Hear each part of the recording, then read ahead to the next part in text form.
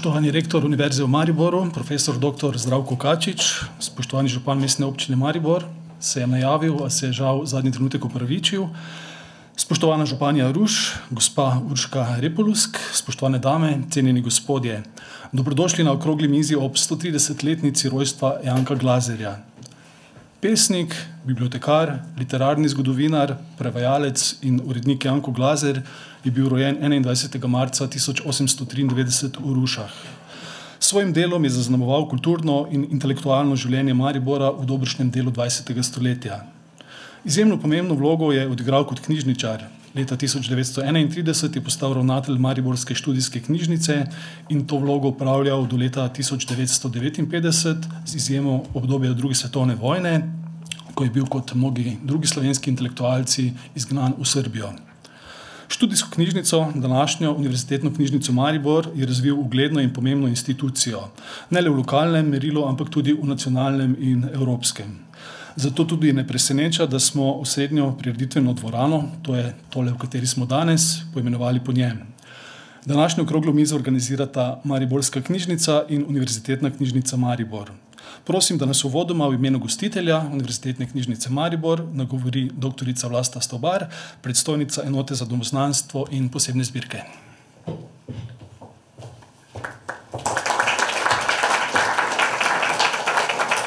Torej, spoštovani gostje, rektor, županja občine Ruše, obiskovalci, kolegi. V imenu ravnateljice Univerzitetne knjižnice Maribor, magistrice Dunje Legat, ki je službeno odsotna, in seveda v svojem imenu vas prav lepo pozdravljam v Glazerjevi dvorani Univerzitetne knjižnice. Naša knjižnica se je odzvala pobudi Mariborske knjižnice in skupaj smo pripravili današnjo okroglo mizo, ki je posvečena stotrideseti obletnici rojstva pesnika, literarnega in kulturnega zgodovinarja, kritika, prevajalca, urednika, bibliografa in bibliotekarja Janka Glazerja. V čast in veselje mi je, kadar govorim o profesor Glazerju. V knjižnici se namreč vsakodnevno srečujemo z njegovim delom. Kadar govorimo o razvoju knjižnice, njeni vlogi v univerzi ter njeni zgodovini, katalogih, knjižničnem fondu, dragocenostih, tako raritetnih kot rokopisnih, razstavni dejavnosti, domoznanstvu, kulturni zgodovini mesta. In njegova delovna soba s knjižnico je del naše knjižnice. S predstavitvijo raznolikih področij Glazerjeve ustvarjalnosti želimo spodbuditi izdajo Glazerjevih zbranih del, kar je bila tudi velika želja njegove hčerke, profesorice Alenke Glazer. Današnje okrogle mize se zaradi že prej načrtovanih obveznosti ne more udeležiti profesor doktor Damjan Zazola, Glazerjev vnuk. V svojem sporočilu pa je zapisal, navajam: "Tudi sam menim, da Glazer sodi med avtorje, ki so uvrščeni med zbrana dela. Kot sem že napisal, pa je mama dolga leta živela za ta projekt in tudi zadnjič zaspala z njim v mislih.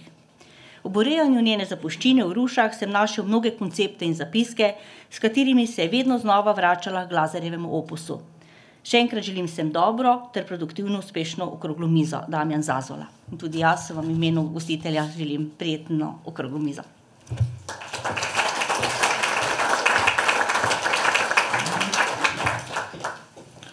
Hvala doktorici Vlasti Stobar. Pobuda za današnjo okroglo mizo, kot že rečeno, je prišla strani Mariborske knjižnice, temeljna ideja pa je predstaviti Glazerjevo večplastno delovanje v Mariboru z vodenim pogovorom z uglednimi gosti. O njegovem pomenu priča tudi to, da so mariborske osrednje nagrade na področju kulture in umetniškega ustvarjanja poimenovane po njem. Gre seveda za Glazerjeve nagrade in Glazerjeve listine. In v tem trenutku bi se zahvalil založniku Primožu Premzlu, ki je tamkaj na tisti mizi pustil knjigo Petindvajset let Glazerjevih nagrajencev in si jo lahko brezplačno vzamete. Med nami pozdravljam direktorja Mariborske knjižnice, magistra Klemna Bervarja, in ga vabim k besedi.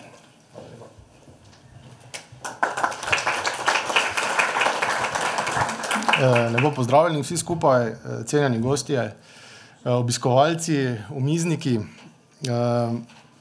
Torej ob vseh drugih letošnjih okroglih jubilejih na področju kulture in umetnosti je letos tudi Glazerjevo leto. Torej od leta osemnajststo triindevetdeset, ko se je rodil Janko Glazer, je minilo sto trideset let. Ampak v resnici Glazerja v bistvu obeležujemo vsako leto. Priročno in pa pomenljivo je, da ima rojstni dan ravno na svetovni dan poezije in na prvi pomladni dan, enaindvajsetega marca. V Rušah se vsakoletno odvija veliko obeležitev in pa aktivnosti. Glazer je tam del tradicije in pa žive kulture in navdih mlajšim generacijam. Občina ima ne na zadnje tudi v grbu razprto knjigo s Peresom, ki simbolizira umetniško in kulturno ter izobraževalno dediščino. Tudi ustanovi, ki sta danes družno pripravili današnji dogodek, torej Mariborska knjižnica, ki ima v Rušah enoto z imenom Janka Glazerja, in Univerzitetna knjižnica Maribor pri tem zmeraj sodelujeta. Kot je bilo že omenjeno, tudi v Mestni občini Maribor je v bistvu Janko Glazer precej prisoten, ne le vsako leto z branjem pred rektoratom, torej na prvi pomladni dan, ampak tudi z vsakoletnim podeljevanjem Glazerjevih nagrad za odličnost na področju umetniškega ustvarjanja pa kulture. Tudi tukaj smo torej v Glazerjevi dvorani, je Glazer zelo prisoten, v kajem hrani in pa preučuje njegovo dediščino. Omenjeno je bilo tudi, da je bil Glazer ravnatelj študijske knjižnice v bistvu v prelomnih časih. O Janku Glazerju torej vemo praktično vse, skoraj vse, bil je eden najvidnejših in najbolj samosvojih pesnikov s tega konca Slovenije, prvi Prešernov nagrajenec iz tega mesta iz leta oseminšestdeset, literarni zgodovinar, knjižničar, kulturni delavec in pa urednik. Lahko ga umestimo v verigo, v bistvu v vrsto zaslužnih osebnosti, ki so izoblikovali slovenski Maribor skozi mnoge preizkušnje v dvajsetem stoletju. Tudi današnji kulturni sistem v mestu oziroma mreža ustanov, ki jo poznamo danes, je v veliki meri zasluga teh zaslužnih posameznikov, med katere spada Janko Glazer. In lahko omenim še recimo Frana Kovačiča, Sergeja Vrišarja, Franja Baša, Bruna Hartmana in seveda še druge. Okolje, ki torej pozna Glazerjeve zasluge in pa domet, torej okolje, ki ve, kaj ga je navdihovalo in polnilo njegovo ustvarjalnost in zakaj, je po mojem mnenju odgovorno, da se njegovo osebnost in dediščino dokončno integrira v naše mestno in regionalno pa tudi vseslovensko kulturno zavest. Glazerjeva dediščina je namreč tako obširna in pomembna, da si jo lahko lastimo in se nanjo nanašamo oziroma ponašamo veliko širše, kot to počnemo zdaj.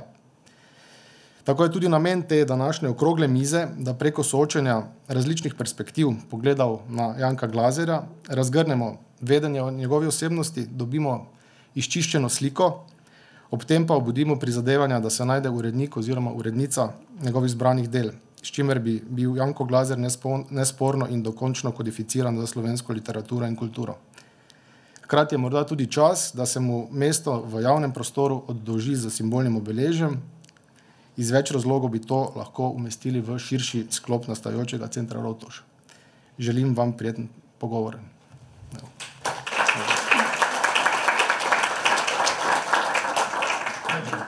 Hvala direktorju mariborske knjižnice. Janko Glazer je večino svojega življenja preživel v Rušah, kjer na več načinov ohranja spomin na znamenitega rojaka. Po njem je poimenovana osnovna šola, knjižnica, kot smo slišali, ulica, v kateri je stanovala njegova hiša, nosi njegovo ime, ima na pročelju spominsko ploščo in vsako leto organizirajo Glazerjeve dneve. Danes je z nami tukaj županja Ruš, gospa Urška Repoluzk, ki jo prosim za nekaj besed.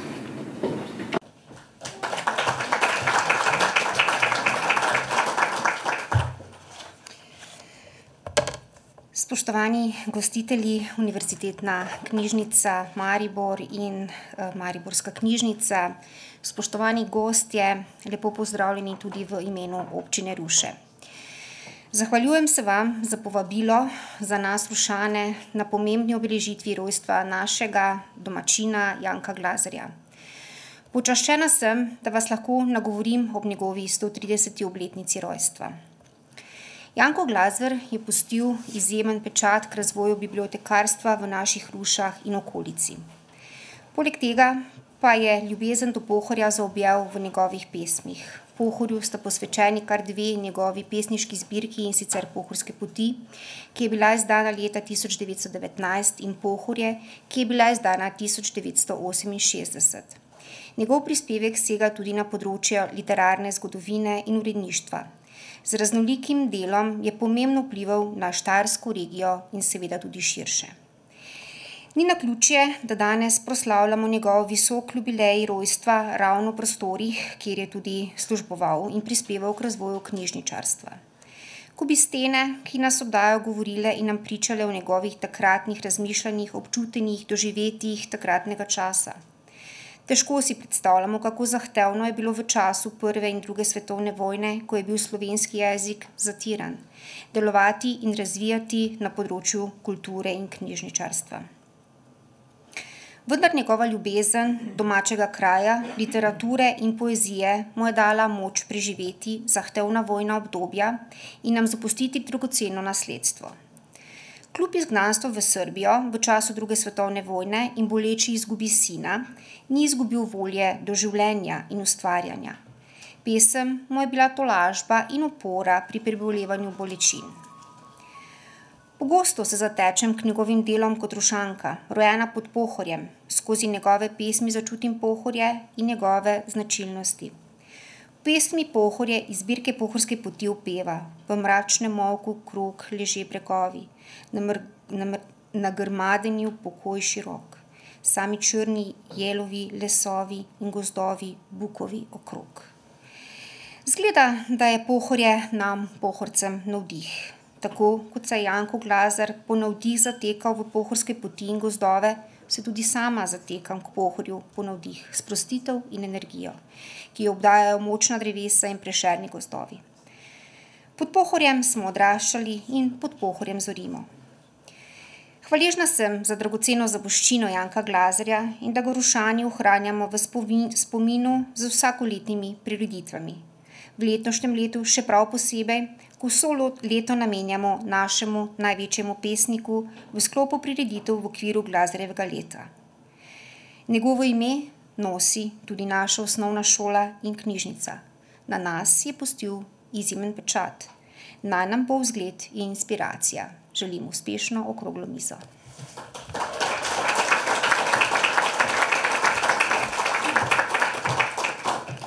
Hvala, županji Ruš.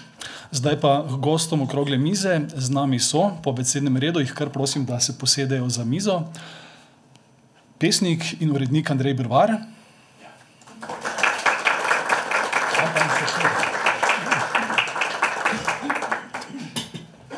Literarna zgodovinarka, profesorica dr. Jožica Čeh Steger iz Filozofske fakultete v Mariboru.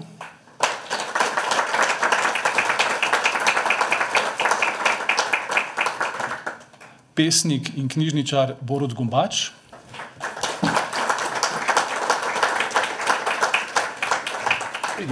Pisatelj, dramatik in gledališčnik Tone Partlič.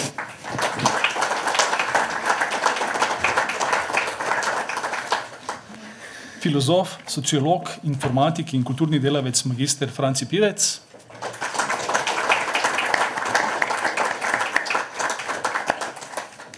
in zgodovinarka, bibliotekarka, dr. Vlasta Stavbar.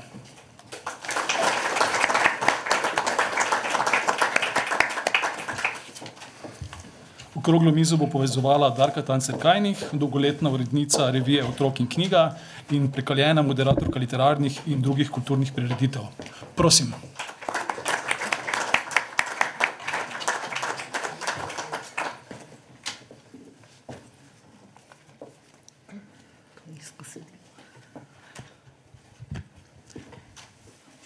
Lep pozdrav vsem zbranim. Um, današnjo okroglo mizo so si snovalci, organizatorji uh, zamislili pravzaprav kot sklop večjih tem. Pa če jih mogoče navedem, skušali se bomo gibati znotraj te tematike.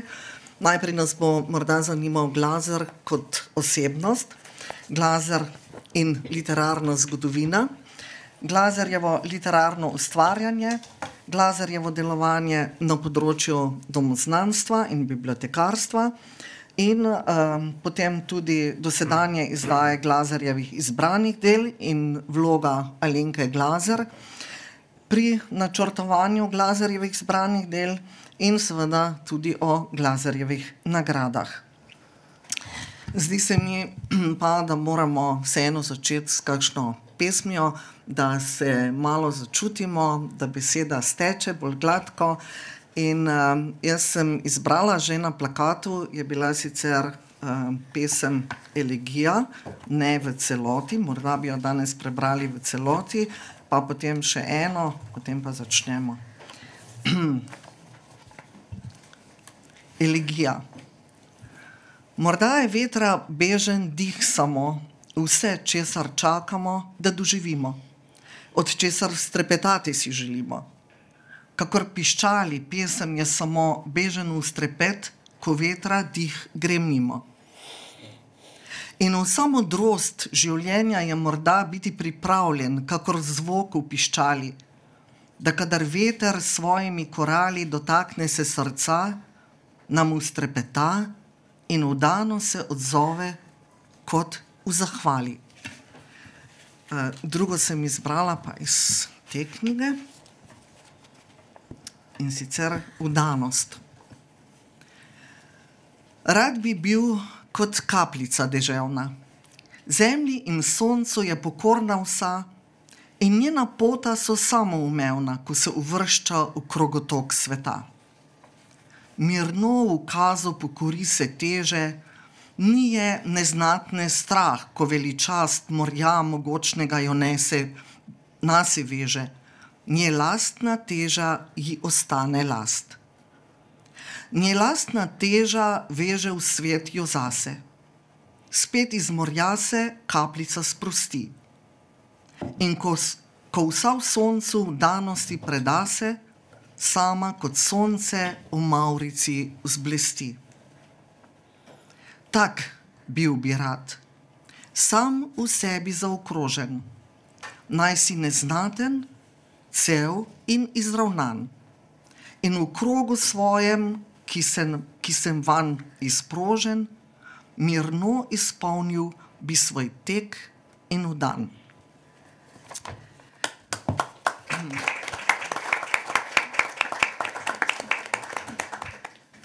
Pa bi morda začeli ta pogovor res z Glazerjem kot osebnostjo. Vem, da ste ga nekateri še osebno poznali, se srečevali z njim, katere mogoče bistvene lastnosti njegove bi izpostavili. In, ali pa če rečem drugače, kakšen je bil torej Glazerjev človeški in pesniški obraz in izraz, in kaj menite, da ga je oblikovalo? Morda samo tako kot en brainstorming, potem pa gremo na bolj uh, stvari, ki so, ki so bolj eksaktne, bolj dokumentirane. Z dvema besedama bi lahko to risal. Bil je introvertiran in moder, pravi pohorc. Sem imel kontakt z njim, nekoliko, uh, bi rekel, uh, bolj podroben. Uh, spomnim se, uh, enega obiska v, v, v takratni študijski knjižnici, ko je umrl Petr Baloh, mogoče ga kdo pozna, pri 22 letih. E, bil je moj ljubljanski cimer in e, mama in oče sta me zadolžila, da razpolagam z njegovo zapuščino. In sem, in sem to zapuščino potem oddal v takratno študijsko knjižnico in kašen mesec, dva dobim kartico, eh, eh, s katero me Janko Glazar vabi, da bi se oglasil v knjižnici. Eh, zaradi zapuščine Petra Baloha. Moram reči, da sem kar z nekoliko nervoze šel k njemu, vendar me je za svojo osredotočeno mirnostjo takoj pomiril in me seveda začel uh, najprej ga je zanimalo, kako je bilo s tem nesrečnim um, prijateljem.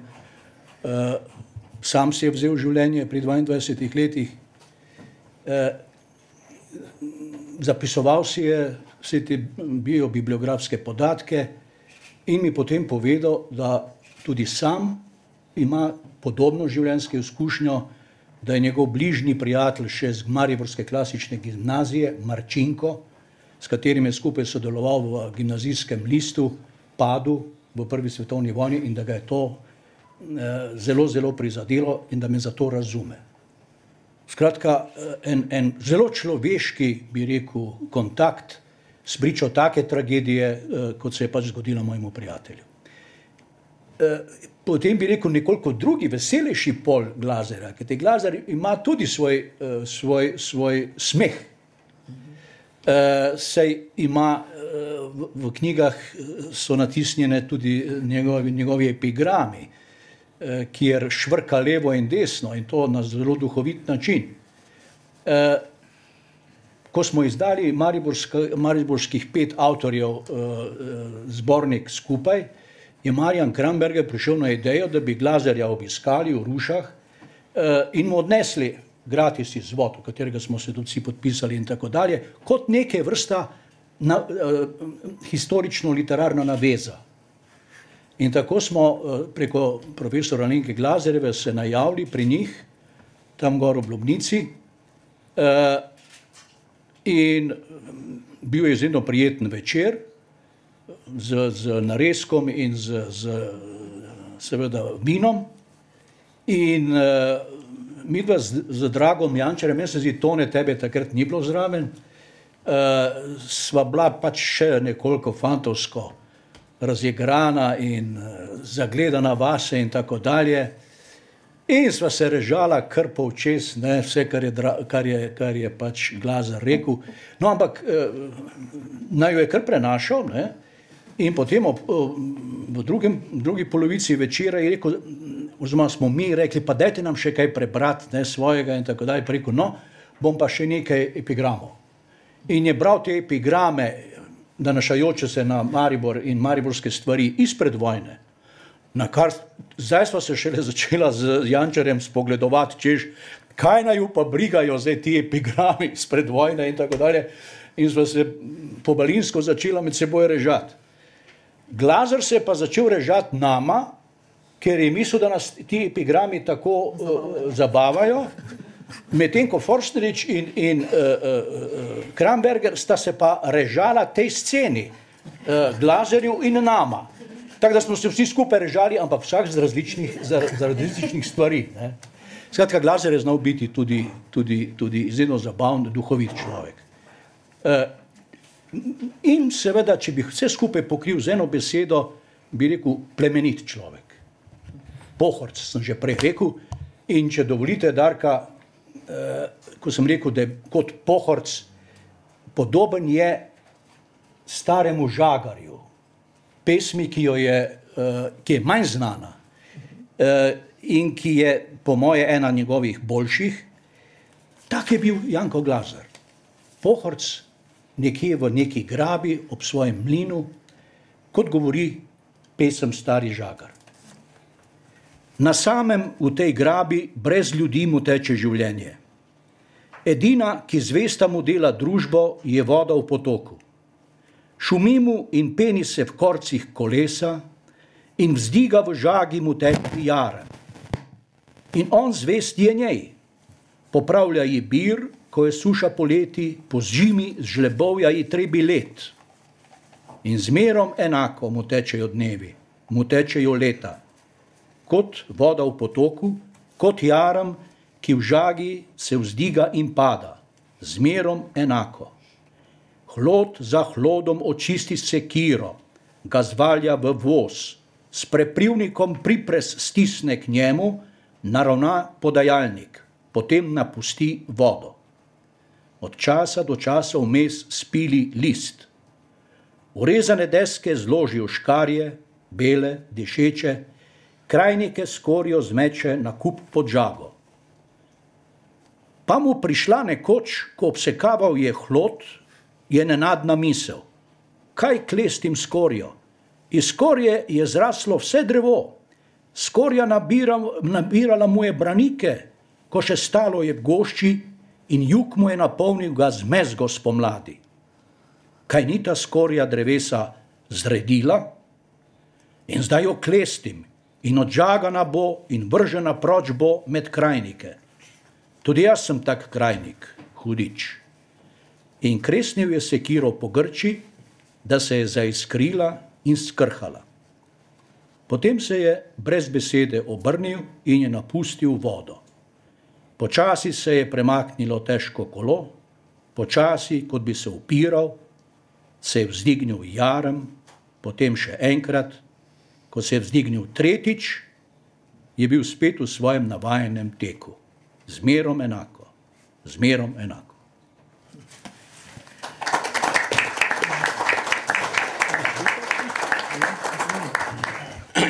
Mene je pogledala, ker ne vem, koliko nas je še toliko starih, da smo lahko z njim govorili in se srečali.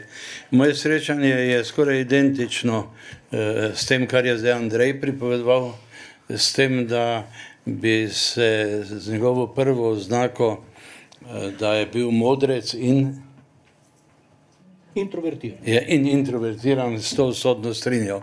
Jaz sem hodil v zadnji letnik, ne pred zadnji letnik učiteljišča, leta 58, ko je bila obletnica, 40-letnica eh, prevrata ali vstopa v kraljevino in je on bil avtor razstave in mi smo šli cel razred z profesorjem.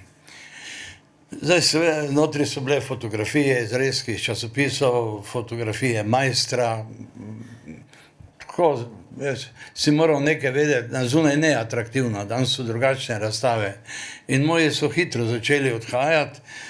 Jaz sicer sem se dobro učil, če, kar seveda nič ne pomeni, ampak me, bolj me je zanimalo, če in sem tam ostal sam, niti nisem vedel in sem nek tisto majstrov poziv k mobilizaciji bral.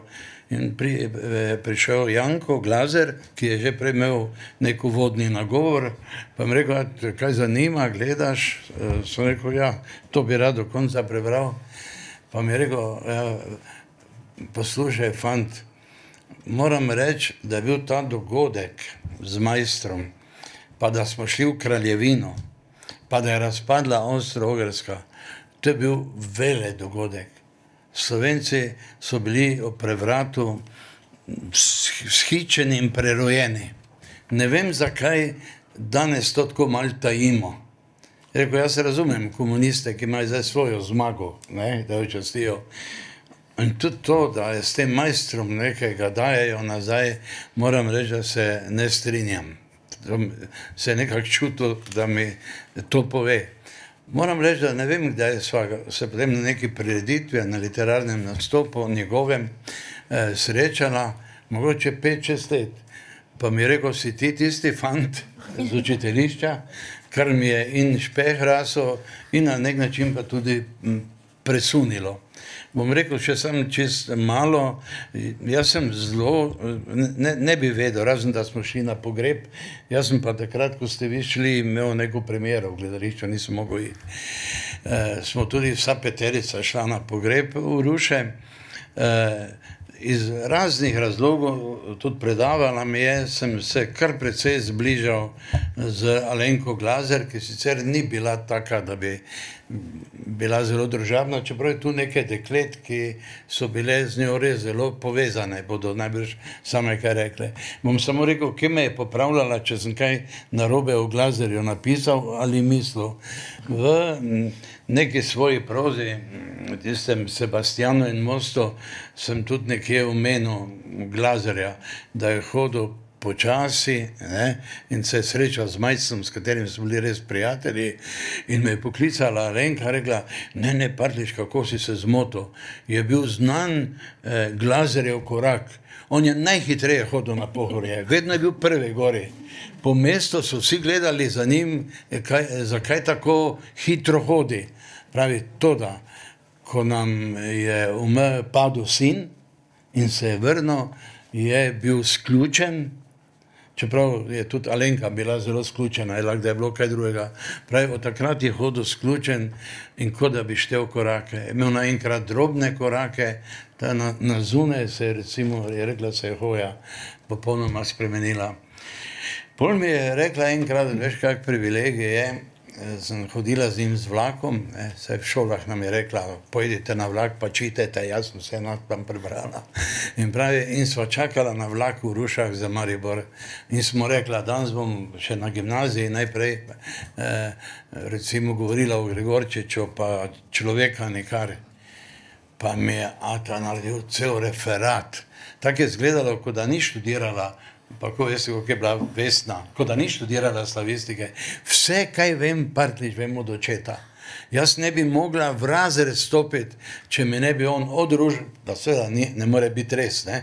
ampak tako mi je govorila, vse, vse kar imam, imam od očeta, on me je počel, kaj naj v razredu delam, ker me na nek način ganilo in nobenem presenetilo. In da, in da se ne bi k temu vračal, rečem še samo za konec, tako in po nekem slučaju, ko sem bil v tistih krajih, eh, sem se vračal iz Ljubnega domov skozi to polščico, ko sem že vedel, da je bila tam. Eh, eh, eh, Me je tudi poklicala, da gre v to polšico in da me prosi, naj, govorim, naj ne govorim to okoli ljudem, da je ne bi bilo ljubo. Ona pa se čuti nekako, če bom jo, eh, da mi pove. In sem se javil, če lahko gremo obiskat, ker sem tudi slišal, mislim pa, da imaš ti podobno izkušnjo, da ni ravno želela sprejemati obiskov. In sem klical receptorja, naj gospod vpraša in me je poklical nazaj, ko sem že bil pravzaprav to boljši, da bo gospa zelo vesela, samo naj pridem pol ure kasneje, da se bo lahko zrihtala. In sem šel k njej, eh, se tiče glazerja, ne samo nje, ne, in sem šel k njej gor. Moram reči, tu na slikah, že drugače mi pa nikoli ni zdela tako lepa, da bi imel kakšne pohodne misli, lahko ravno mo- moški ob njej. Takrat je bila tako lepa, imela je baretko, bila je pri frizerju, zrihtana, da sem kar osupno, kakšna lepa ženska je to.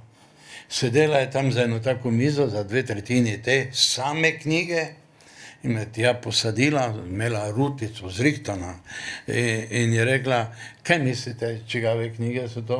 Pa sem takoj rekel, očetove. E, to pripovedujem zato, ker je nek nesporazum bil eh, ali njen ta dan, ko sem bil tam na obisku, ali pa sploh. In mi je rekla, ja, ne morem pa razumeti, da ne pridejo uredniki te zbirke slovenskih pisateljev in eh, zbrana dela slovenskih pisateljev do mojega očeta in da ne želijo izdati knjige. In mi je kar ušlo, sem rekel, gospa, imam prijatelja Andreja Barvarja, ki zdaj to zbirko ima v literi in se vse čas je nevoljen, ker vi toliko časa ne napišete vse spremne besede in vseh opomb, oni bi že to davno radi izdali, pa vedno mi rečejo, da Alenka Glazer še ni končala. Joj, če bi to vedela, bi pa naredila. Ko sem Andreju to pripravil, mi ni prav verjel. Eh, Gospa ni niti v sekundi zgledala, eh, kakorkoli, da se ne bi kaj spominjala, še, še prenatančno. Eh, To me je na nek način presenetilo in v, v to debato, ki je še danes okoli zbranih del, me na nek način eh, preseneča. Eh, Bila je prva, ki se je tako zelo nam predavala v šoli na pedagoški dve uri o stanku majcno, kar takrat ni bil običaj eh, po višjih ali visokih šolah. Zelo je bila, mm, mm, je rekla, danes bomo začeli govoriti o treh pesnikih, ki, se pi, ki so na G, Gradnik, Golja, Gruden, Glazer, pa ne vem kdo še. No? In je rekla, bomo najprej upravili z Glazerjem, ki je v Mariboru, torej bila je absolutno, bi rekel, preskromna, kar je zadevalo predavanje o očetu, o katerem je govorila kot o tretji eh, osebi. In ko sem hodil na sladki vrh, ker sem nekoč pač na veliko prižgal svečo na majsno grob, me je klicala, če mi lahko da, ne vem, eh, 25 tolarjev, naj še v njenem imenu za majsna kupim svečo. Pa sem rekel, gospod, če jaz nimam tega denarja, da eno svečo kupim, kaj ga lomite. Rekla, ne, ko se vrnete, prosim, in je potem mi v, spode v predalnik veliko verjete, je bilo ne vem, neki minimalni denar, koliko tam sveča stane. E, Še samo to rečem, bila je takrat že zelo pognjena, hodila je z avtobusom na Marijo Snežno, e, zelo težka vožnja po tistih goricah. Sem se skozi ponujal, da bi peljal, pa ni želela. In ko je enkrat plela eh, grob, je prišel mimo župnik, Grob je bil takrat zelo zanemarjen in mu je rekla, pa kako, da župnišče niti malo ne poskrbi za grob Stanka Majcna, saj je vendar svojo vilo podaril cerkvi, prepisal kot last, zdaj je zopet privatna, ker je cerkev bila v dolgovih. E, e, in je ti župnik, sem ga tudi zelo dobro poznal, ne bi mogel ravno kaj slabega reči, razen da se je umrl pred dvema letoma, do zadnjega se je boril s komunizmom tudi na Prižnici, da je že domačinom šlo na živce. E, in, in mu je rekla, je, vi bi morali malo poskrbeti za ta grob. In si mislite, kaj je odgovoril gospod župnik? Rekel, ja, če bi naši fari prepustila, ker je pa prepustila časnim sestram, pa naj one skrbijo, mi ne bomo. Vendar mislim, da njen pogovor vseeno ni bilo, bil brez rezultatov. Prej je desetletja, se s tem nič ne važim. Ne? Bila sem ena sveča, jaz sem se zaobljubil, da bom šel na dan mrtvih, na zadnje sem pelal na veliko in sem prižgal svečo, zdaj je pa že, ko bi rekel, enih deset let še ena sveča, eh, ki je tam eh, prižgana. Eh, torej, se upravičujem, ker na oba mislim, ampak ona je, ona je toliko govorila o očetu, eh, več kot o svojem otroku ali pa o bratu. Jaz bi mogoče tudi sam dodala, ker smo tudi sama v stikih do konca, v bistvu čist do konca njenega življenja, da mi je tudi pripovedovala, mogoče je lažje razumljivo potem tudi to njeno um, njena želja, da bi se oglasili v zvezi z branimi deli, da mi je večkrat pripovedovala, da eh, ima nočne more, tako rekoč sanje, in da je v sanjah mama, mama, da ji žuga Alenka opravi to, kar si obljubila naredi to, kar si obljubila. In to, bila, seveda, to je bilo v zvezi z dediščino očetovo. Njo je to precej preganjalo, čeprav je veliko naredila, ne se bomo tudi še veliko res naredila, ampak kljub temu je pa to ostajala. Njena želja in tudi travma. Vlasta, ti še želiš nekaj? Ja. Ne? Ja. Jaz bi pa mogoče izpostavila, jaz ga seveda nisem poznala osebno, ampak ob pregledovanju njegove zapuščine, ki pač v glavnem v naši hiši, eh, bi izpostavila njegovo natančnost, ki se kaže, ko pregleduješ, bom rekla, od zapiskov do vsega ostalega, strašna natančnost prisotna in kar se potem kaže tudi v vseh, bom rekla, razpravah, ki jih je objavljal v različnih revijah in časopisih, tako tistih, bom rekla, z področja domoznanstva ali zgodovine, ker je res do potankosti raziskano in so vsi podatki zelo, zelo natančni, po mojem, veliko krat preverjeni. In takšna je bila tudi Alenka Glazer. No. Tudi preko nje sem pravzaprav, ki je bila redna obiskovalka naše enote za domoznanstvo, eh, slišala marsikaj torej, o njenem očetu. Eh, in ravno ta natančnost je potem njegova ta žilica raziskovalnega dela in da v bistvu to vse, kar eh, se je dogajalo v mestu, na Štajerskem nekem obdobju, je zelo natančno popisal. Imel je tudi dostop do gradiva, ki ga je v hiši, tudi torej v knjižnico, načrtno pridobival in ga tudi uporabil v svojih raziskavah, ki jih je objavljal. In tako so še vedno danes temeljna dela v Mariborskem tiskarstvu, v Slovanski čitalnici in še pomembnih drugih kulturnih dogajanjih v mestu. Se pravi, ta natančnost, ki pa bom rekla zdaj, ko smo leta 2019 v Univerzitetno knjižnico pridobili tudi Glazerjevo, torej osebno knjižnico in njegovo delovno sobo, so vsi ti predali polni še eh, rokopisov, raznih zapiskov, Tako da bomo se s tem njegovim delom še vrsto let srečevali. Še morda kdo?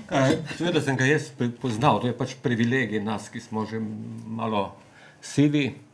Srečeval sem ga v študijski knjižnici, ampak če to primerjam z srečanjem in pogovori z Alenko, pa je to prav malo. Ne? Tako da pravzaprav karkoli rečemo o Glazarju, je to odsev tega, kar smo se pogovarjali z eh, Alenko skozi mnoga leta, na, ko smo bila kolega na pedagoški akademiji takrat.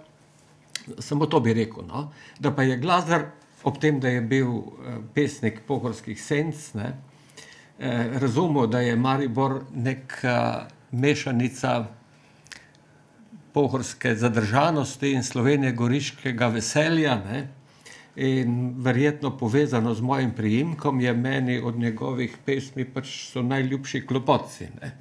Tako da je znal se obr ob obrniti tudi na sončno stran Maribora. Ja, mogoče bi ta prvi del lahko kar zaključili tudi z enim citatom iz uh, prvih, prvega izbora Glazareve poezije, pesmi in napisi, ki so išli pri založbi Obzorja ob njegovi 60-letnici in je izbor takrat pripravil in tudi spremno besedo napisal Jaro Dolar. Knjiga je bila pa potem leta 85 ponatisnjena, takrat je pa sodelovala tudi Alenka Glazer. Uh, in uh, um, bi mogoče čisto čisti začetek spremne besede uh, govori ravno o tem. Pravi takole, to Glazar sam piše. Pohorja je svoje vrsten svet, njegovi gozdovi, njegove frate z malinami in ciprošem, pašniki z arniko, globoko zajedeni kolovozi, ki jim pravijo kolobarji, studenci, potoki, stare kmečke žage, široka položna slemena na zapadu gola, lestrato porasla, planote s pritlikavim boričevjem, sredi njih temna, brezgibna pohorska jezera šoto na dnu. Svet, poln intimnih lepot, ki pa so tihe in neusiljive. Svet, sredi katerega človek omokne in se zamisli. Ljudje v tem svetu, živeči večinoma samotno, so nehotje vsaj na zunaj, zadržani, redko besedni, čeprav so domiselni in v svojem bistvu vedri. Ne govorijo mnogo, a kar rečejo, navadno drži. Uh, mislim, da je tukaj se kar dobro tudi samo opisal, kar smo lahko brali tudi od drugih o njem.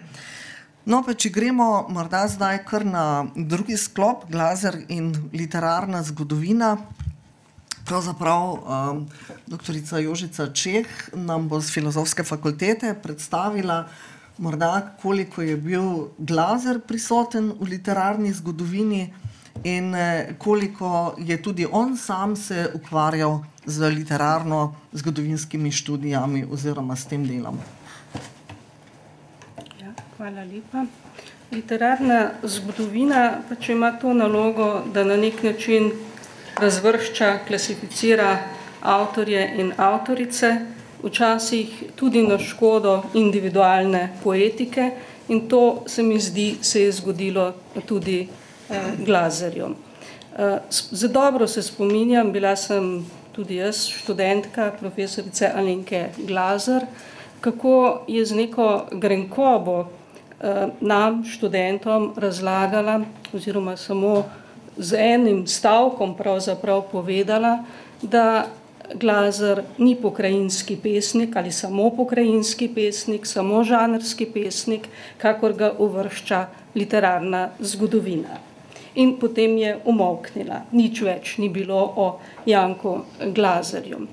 Če pogledamo literarno zgodovino ali različne literarne zgodovine, so o Glazerju eh, literarni zgodovinari in zgodovinarke seveda pisali. Um, umeščen je pravzaprav kot pesnik Pohorja in predvsem kot dedič, sopotnik slovenske moderne. Uh, tukaj je seveda treba tudi povedati, da je bilo pravzaprav tudi v neugodnem času je izdajal svoje pesniške zbirke. E, tako je prva pesniška zbirka Pohorske poti išla leta 1919, ko slovenska literatura je v znamenju ekspresionizma zgodovinskih avantgard. E, Glazer pa seveda izhaja iz moderne, njegova pesniška poetika Eh, je pravzaprav enaka vse od prve pesniške zbirke pa do zadnje pesniške zbirke. On razume eh, seveda eh, pesem kot pesniški organizem, ki nastane iz nekega žarišča, tudi ne mara kričečih besed, ne mara okrašenih besed, ena od temeljnih značilnosti njegovega pesniškega sloga je zagotovo konkretnost, je zagotovo zgoščenost in je približevanje realistični eh, pesniški besedi. Eh, no, eh, Marja Boršnik je pisala o eh, Glazarju v študijah in fragmentih, tam v 60-ih letih, sicer se je že tudi prej z njim srečevala, ko je na njegovem domu, ko je eh, pravzaprav še pripravljala izbrana dela Antona Aškrca, In ko sem prebirala pač različne spise Glazarjeve, sem recimo zasledila, da kako je bil Glazar pravzaprav zelo nejevoljen, ko je Marja Boršnik raziskovala te ustvarjalne ritme in se s tem ni strinjal. Rekl je, pesmi eh, rastejo iz srca, ne? torej iskati pesništvo Gljanka Glazarja v izpovednosti, ne pa v letih in mesecih in dnevih. Ne? V literarni zgodovini, matični literarni zgodovini eh, Lina Legiša v ekspresionizem in novi realizem je kar dobro eh, predstavljen, vendar predstavljen kot žanrski pesnik, kot pesnik eh, Pohorja, kot torej dedič slovenske, slovenske moderne. Predvsem pa potem se je zgodilo pravzaprav pravzaprav se zgodil pravi pogrom na uh, Glazarja ob drugi eh, pesniški zbirki, uh, torej uh, Čas Kovač, ne, let, po, po desetih letih, leta 1929, uh, ko je doživel zelo, zelo hude kritike, negativne ocene, ampak ne v okviru literarne zgodovine, pač pa v okviru uh, kritikov. Ne. Uh, dva, vsaj dva, ne, zelo odločilna uh, človeka, ki sta veliko odločala o slovenski literaturi, Anton Ocvirk in pa Josip Vidmar, sta napisala zelo, zelo odklonilno uh, kritiko, celo tako, ne, češ, da ni pravi pesnik, da uh, se ponavlja, da ne gre v, torej v stik z novimi literarnimi smermi, da ostaja Eh, torej pri starem, da so njegove pesmi o pohorju eh, pravzaprav samo motivi, da ni v njih, v njih prave pesniške moči. Eh, to je po moje bil za Janka Glazarja zelo hud odarec, kajti naslednja pesniška zbirka je nastala šele potem leta 1946 ob jesenskem ekvinokciju, ko je bil zopet nepravi čas za Glazarjevo uh, poezijo. To je bil seveda čas, uh, kako ne rečem, glasne poezije. Ne? Uh, Glazar ostaja vaš čas zavezan svoji poetiki in tako da Eh, je potem pravzaprav bolj ali manj eh, umolknil, ne, saj pozneje so izhajali v glavnem torej ti ponatisi. Obenem je pa seveda treba reči, da je pisal ne, torej pesmi vse do eh, pozne starosti. Um, no, slovenska literarna zgodovina potem nekako v 60-ih letih Franc Zadravec piše, Eh, o eh, Glazarju bolj naklonjeno v zgodovini eh, slovenskega slovstva, v peti knjigi obdobje moderne, pa potem tudi v šesti knjigi. Ta je pač literarna zgodovina išla pri mariborskih obzorjih in predstavi torej Glazarja seveda kot v območju mlajših avtorjev moderne, Eh, poudari pa, da pravzaprav njegove pesmi, ki so vezane na pohorje, niso samo pokrajinske pesmi, da mu narava ne pomeni samo neke prispodobe, da je pohorje pravzaprav velika metafora za uh, glazarjevo razumevanje človeka, sveta in sebe. Uh, potem je tudi uh, recimo Boris Patrnu uh, zelo naklonjeno uh, piše o Glazarju v um, knjigi, torej uh, slovenska uh, poezija 1945-65, uh, ugotavlja, ne, da seveda je Glazarjev ideal harmonija, torej iskanje harmonije, kar o čemer tudi njegove pesmi govorijo, ampak da je notranji eh, lirski subjekt vendarle zelo razpet, zelo razklan, eh, da pa v skladu seveda s poetiko impresionistično, realistične eh, smeri vendarle išče eh, neko harmonijo, hoče torej ta, to napetost eh, obvladati, kar mu seveda eh, na svoj način uspeva in med drugim tudi, ne, ko se zateka k žagarjem. Recimo ne, v tej pesmi išče torej, navdih v pohorju, išče torej, tudi rešitev iz notranjih disonanc v svoji upetosti, zavezanosti pohorski pokrajini.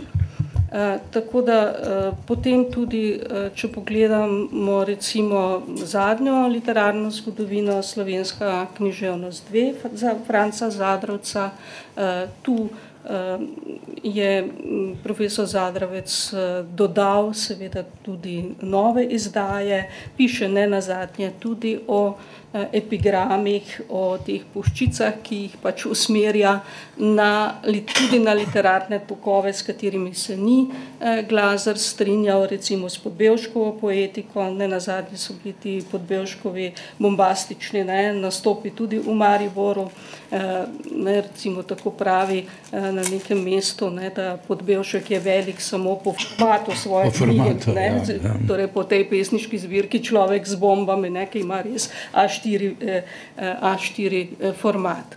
Ehm, zdaj, eh, seveda pa je dalje ne, od, tega, od teh orisov v literarni zgodovini pravzaprav potem ni prišlo, največ se je v zadnjem času zagotovo ukvarjala z Jankom Glazerjem Alenka Glazer, z obsežno študijo, ne, torej v tej zbirki pesmi. Je pa zanimivo, kako je Glazer ne, razumel, uh, kaj naj bi literarna zgodovina uh, torej povedala. V več uh, spisih, številnih razpravah, njegovi spisi, uh, ki, ki so bili objavljeni, ki publicistiki, so pravzaprav prave male min, miniaturne literarno-zgodovinske razprave. Glazarju so zelo, zelo učitali, eh, nečeš, da je pod vplivom Župančiča.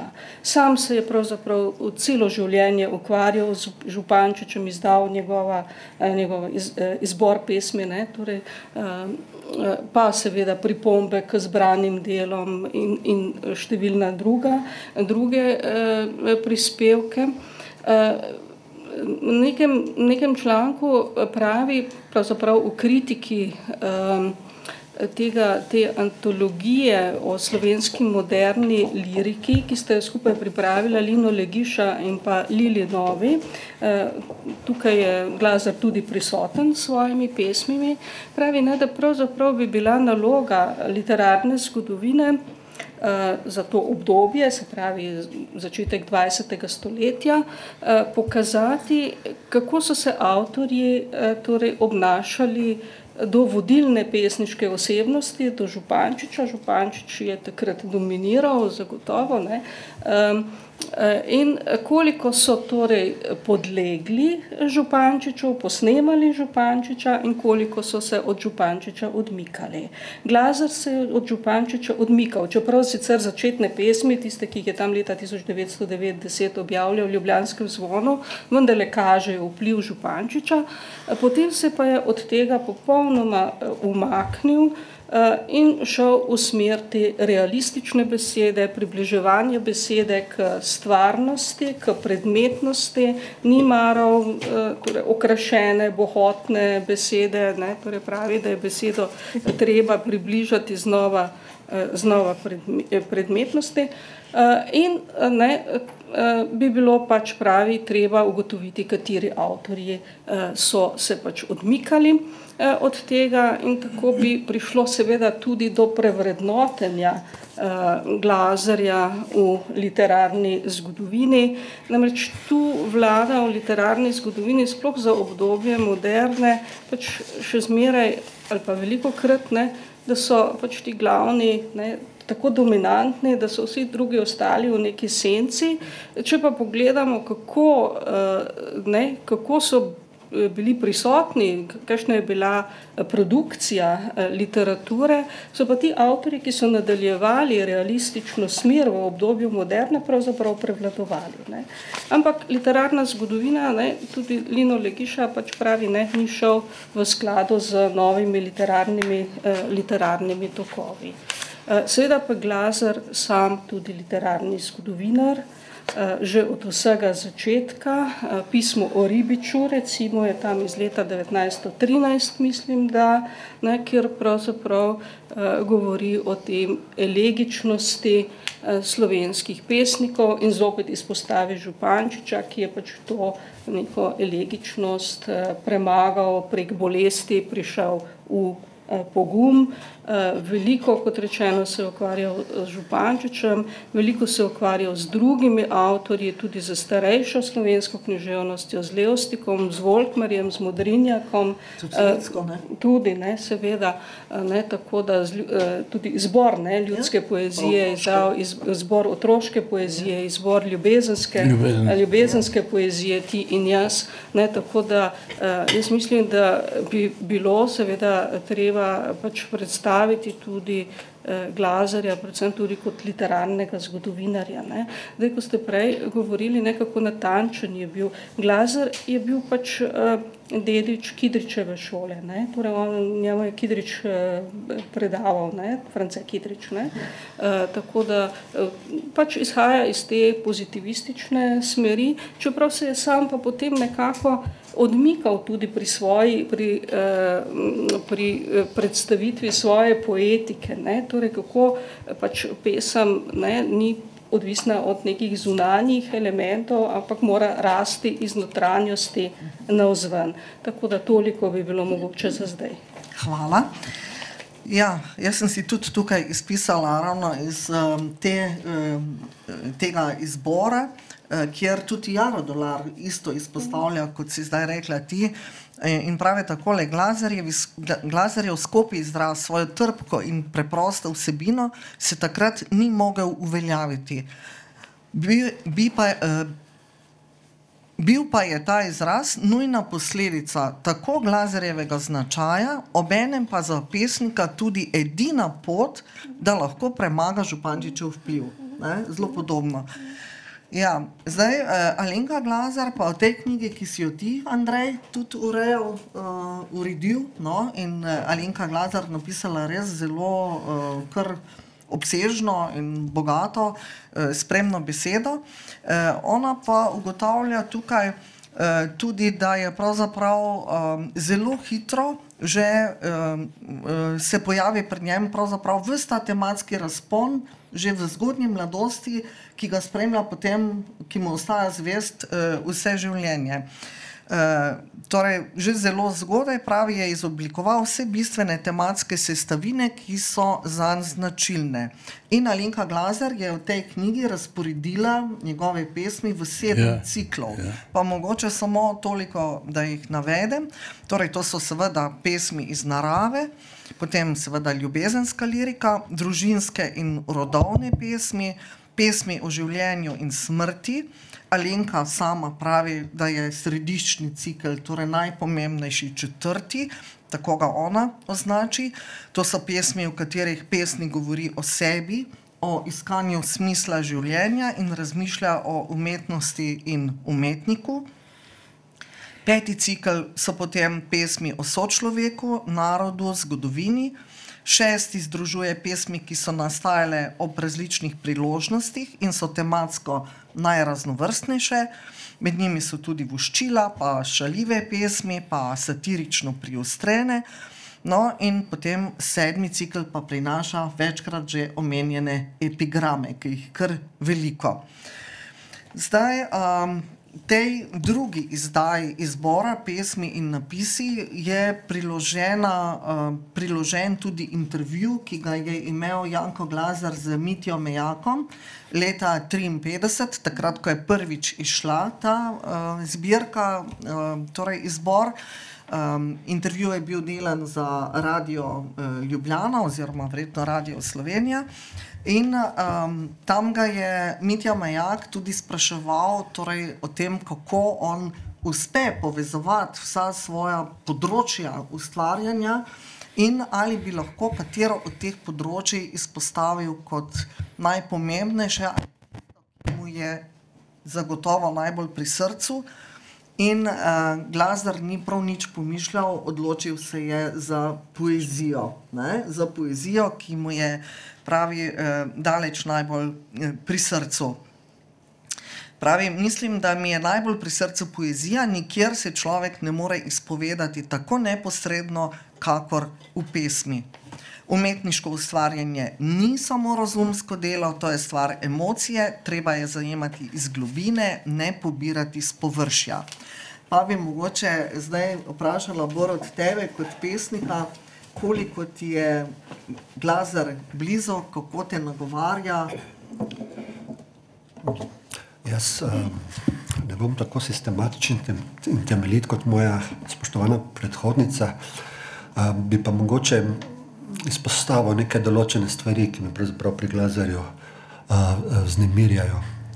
Uh, najprej bi mogoče, uh, pred leti sem nekje bral, uh, da ko je glazar učil, da so učenci, ko smo prej omenjali podbevška, da so učenci pobegnili na, na predstavitev podbevška in uh, s potem glazarju pripravili literarni večer.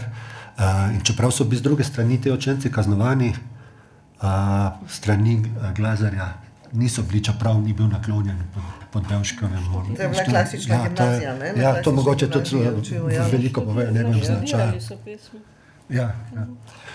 Um, sicer um, moram priznati, da v bistvu te moje generacije, torej generacije rojeni okrog 60 let, se o Glazarju pravzaprav ni govorilo veliko za razliko od nekih predhodnih generacij, da sem mogoče jaz bil celo en redki, ki sem ga tu, tam, tu in tam uh, omenil. Uh, se spomnim, da sem nekje v nekem pogovoru, mislim, da je bilo v Ljubljani, uh, nekomu omenil, omenil sem pesnika Pohorja. Ne?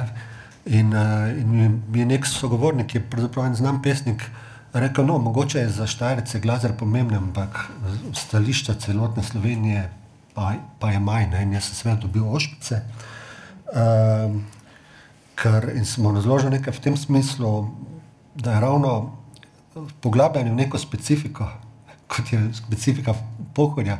Torej, če, je to, če, je ta, če je to poglabljanje zelo temeljito, zelo organsko, pravzaprav več pove o nekem občem, kot uh, če se z glazerimi besedami, če gre od znotraj, od, od znotraj na zven. Sicer pa sam se pravzaprav tako študiram, če se, če se iz šole spomnim lazerja. Ne vem, če smo kaj dosti, če smo ga kaj dosti omenjali, ali pa sem bil mogoče takrat, uh, mogoče sem preveč šprical, mogoče sem, kdaj, sem kdaj kaj zamudil. Uh, vsekakor se pa spomnim od doma, moja teta je namreč delala tukaj v univerzitetni knjižnici celo življenje. Uh, in je takrat Glazer, sicer ni bil več ravnatelj, ampak je že hodil redno v, vredno v domoznanski oddelek. Uh, sem to besedo Glazer slišal in zmeraj je bilo neko, tako, neko spoštovanje. Tako da preden sem sploh vedel, kdo to je, da je to nek pesnik, pa ravnatelj, uh, sem imel že nek odnos do te besede. A potem moj dru, drug stik z Glazerjem je pa bil tukaj, je, sem prej videl, moja sošolka, Eh, tudi odlična pesnica in odlična pravljica, Zdenka Gajzer, ki mi je um, nekoč podarila knjigo od Alenke Glazer Branike. Um, meni je bila knjiga zelo všeč in sem seveda šel takoj, takrat sem hodil v knjižnico Tabor, torej ne v našo knjižnico, reče sem imel Mariborsko knjižnico. Uh, in sem tam seveda na policah zagledal tudi knjige njenega, knjige njenega očeta. In kar je zanimivo, ne, kar pravzaprav govori o moči njegove poezije, ko sem prebral nekatere pesmi, pa ne samo te najbolj znane Ciproš, pa Elegijo, pa to, sem imel občutek, kot da sem jih eh, nekoč že bral, kot da, kot da, jih, kot da, kot da jih ne berem prvič. Ne? To je mogoče neka takšna skrivnost uh, dobre poezije. Druga stvar je pa bila potem, uh, ker sem jaz tudi sam zaljubljen uh, v pohorje, uh, bodi si, bodi si pešačim po njem, bodi si kolesarim po zimi tečem. Um, da sem ga potem nekako prišel še za mano, ko sem začel pohorja doživljati, mogoče tudi, kaj zvem, da ne bom zdaj kot preveč narcisoidno kot pesnik, no, je, je nekako glaser prišel za mano, naenkrat sem ga, sem, ga, sem ga občutil. Tako kot je, naprimer, če hodiš po Andaluziji, ne moreš hoditi, ne da bi se zavedal lorke. Ne moreš hoditi po slovenskem primor, primorju, ne da bi nekje ti Erika od zadaj nekaj šepetala. Ne moreš iti od, od tukaj, od pristana pa do Mariborskega otoka, brez da ne bi tam s čovnom uh, in sinom, uh, in sinom Andrej Brvar. Uh, no, uh, No, no, tako, tako se mi zdi, da, da, da, da, da, je, da je res nek organski del pohorja. To je bistvo, bistvo je del pohorja, tako kot so tudi seveda nekatere te uh, pravljice, pravličari, je, je tudi on. In, in jaz se sam zelo rad ustavim na ribniškem pohorju, ker mislim, da je uh, motiv spohora, naslov, uh, naslov uh, pesmi, ki je na eni tabli tam pred uh, Potezerskim vrtom, ja, pri, črnem, pri uh, uh, Ribniškem jezeru. In zanimivo mi je, da se pred tisto pesmijo ustavim zmeraj uh, in strmim vanjo. Uh, enako kot se kasneje, nekaj metrov dalje pri jezeru, pri, pri jezeru ostavim. To, neka, to se mi zdi tudi neka taka čudežna uh, moč, kar pravzaprav govori. Ampak bi rad povedal, da v tisti, to, ravno v tisti pesmi uh, pohorja ne idealizira. Ne? Mogoče, ko ga ko najprej prebereš, tam, tam uh, od tem govori o, tem, o teh boronicah, pa vse teh stvari, ki krasno, ne, ne, bom, ne bom zdaj ponavljal, ker bom pesem pokvaril. Uh, ampak govori tudi o stezah, po katerih so vlekli so vlekli uh, pohorci, uh, verjetno zelo težko, ali pa zvoli, zvoli svoje, uh, uh, pač karkoli so delali, ali drvari. Uh, tako, ja. uh, to pomeni, da nikoli, da, da, da, da nikoli ne idealizira. Ampak meni, meni, meni je bilo zelo zanimivo, kaj neko pesem dela. Namreč pesem že poznam na pamet, vsakeč, ko pridem tja, sem že prebral, zakaj spet to znova berem, se lahko šel mimo, se sem jo pa že stokrat stokrat prebral, ne, zdaj, če smo že ravno, če še lahko se, še enkrat Andreja omenim, ki se mi zdi na nek način tudi vse v nekaterih segmentih pravzaprav en uh, naslednik uh, uh, uh, Glazerja. Uh, Andrej je pred nekaj dnevi v sodnem stolpu prebral pesem o Leonu Štuklu.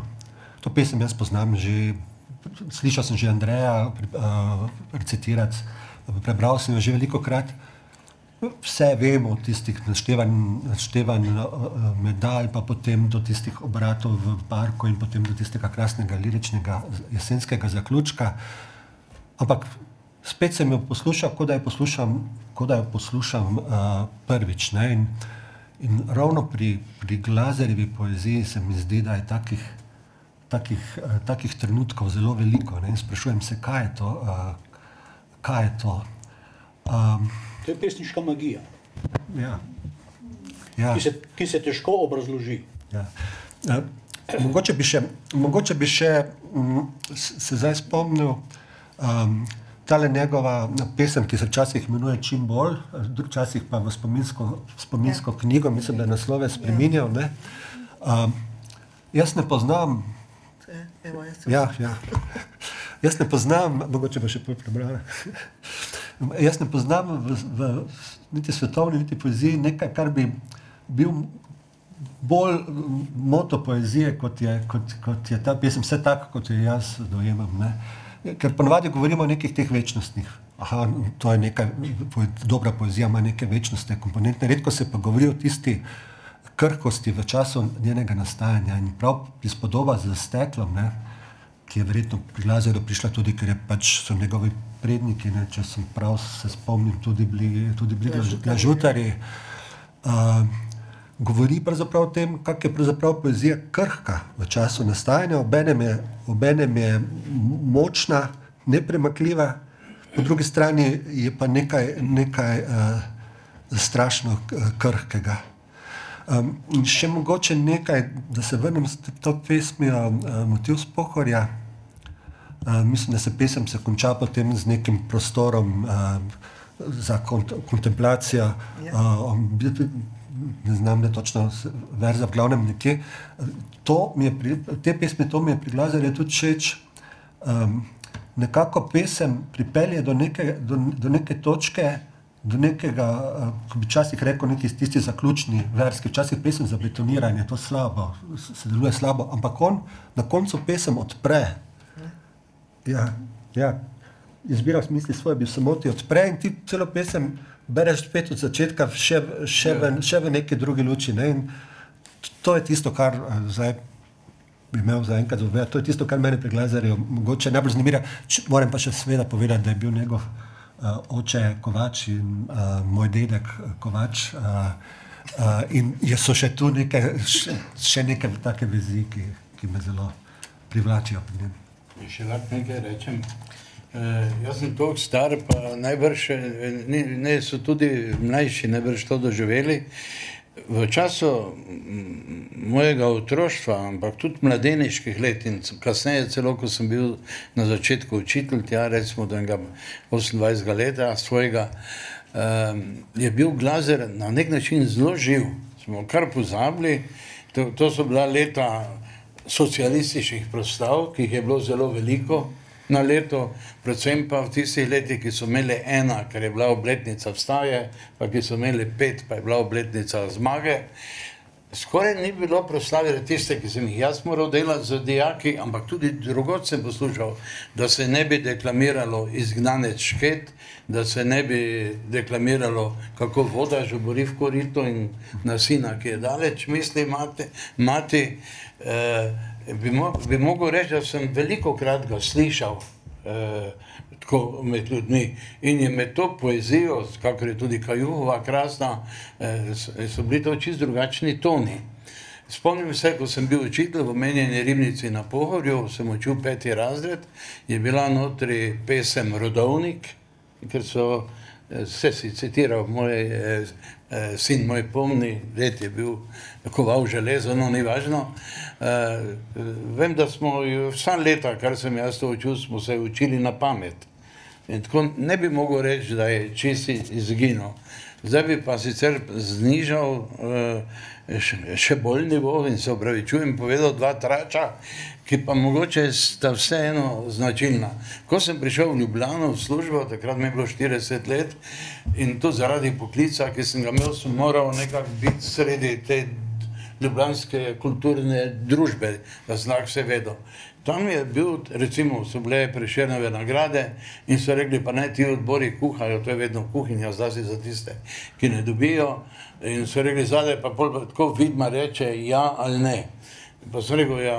Kljub temu je Glazer 68. leta dobil veliko nagrado, sem bral vse to zelo natančno, kar ste vi pregovorili, eh, ker je Vidmar ne samo odklonjen, je tudi sarkastičen do njega, pa so mi rekli, ja, Gliza Glazerja je rekel Vidmar večkrat, da mu je delo preveliko krivico in da se mu zdi prav, da dobi nagrado. Zdaj je to res ali ne, ampak tam je to sploh veljalo kot za neko jav, javno mnenje podobno, nima eh, tesne zveze s tem, eh, ko je Alenka delala doktorat iz Župančičeve mladinske poezije, se je govorilo, in tudi jaz sem bil zraven, ko je to rekel, eh, da Hacpirjevec rekel, ona s tem pozitivističnim, objektivnim pristopom do poezije ne bo nikoli naredila tega doktorata. Po drugi strani se pa Visti Sapi govori, da je napisal dolgo pismo pred slovesom, da je zavrl, pri eh, karieri in da če je to kakšna uvira, bi on rad popravil in rekel, da je vredna tudi doktorata.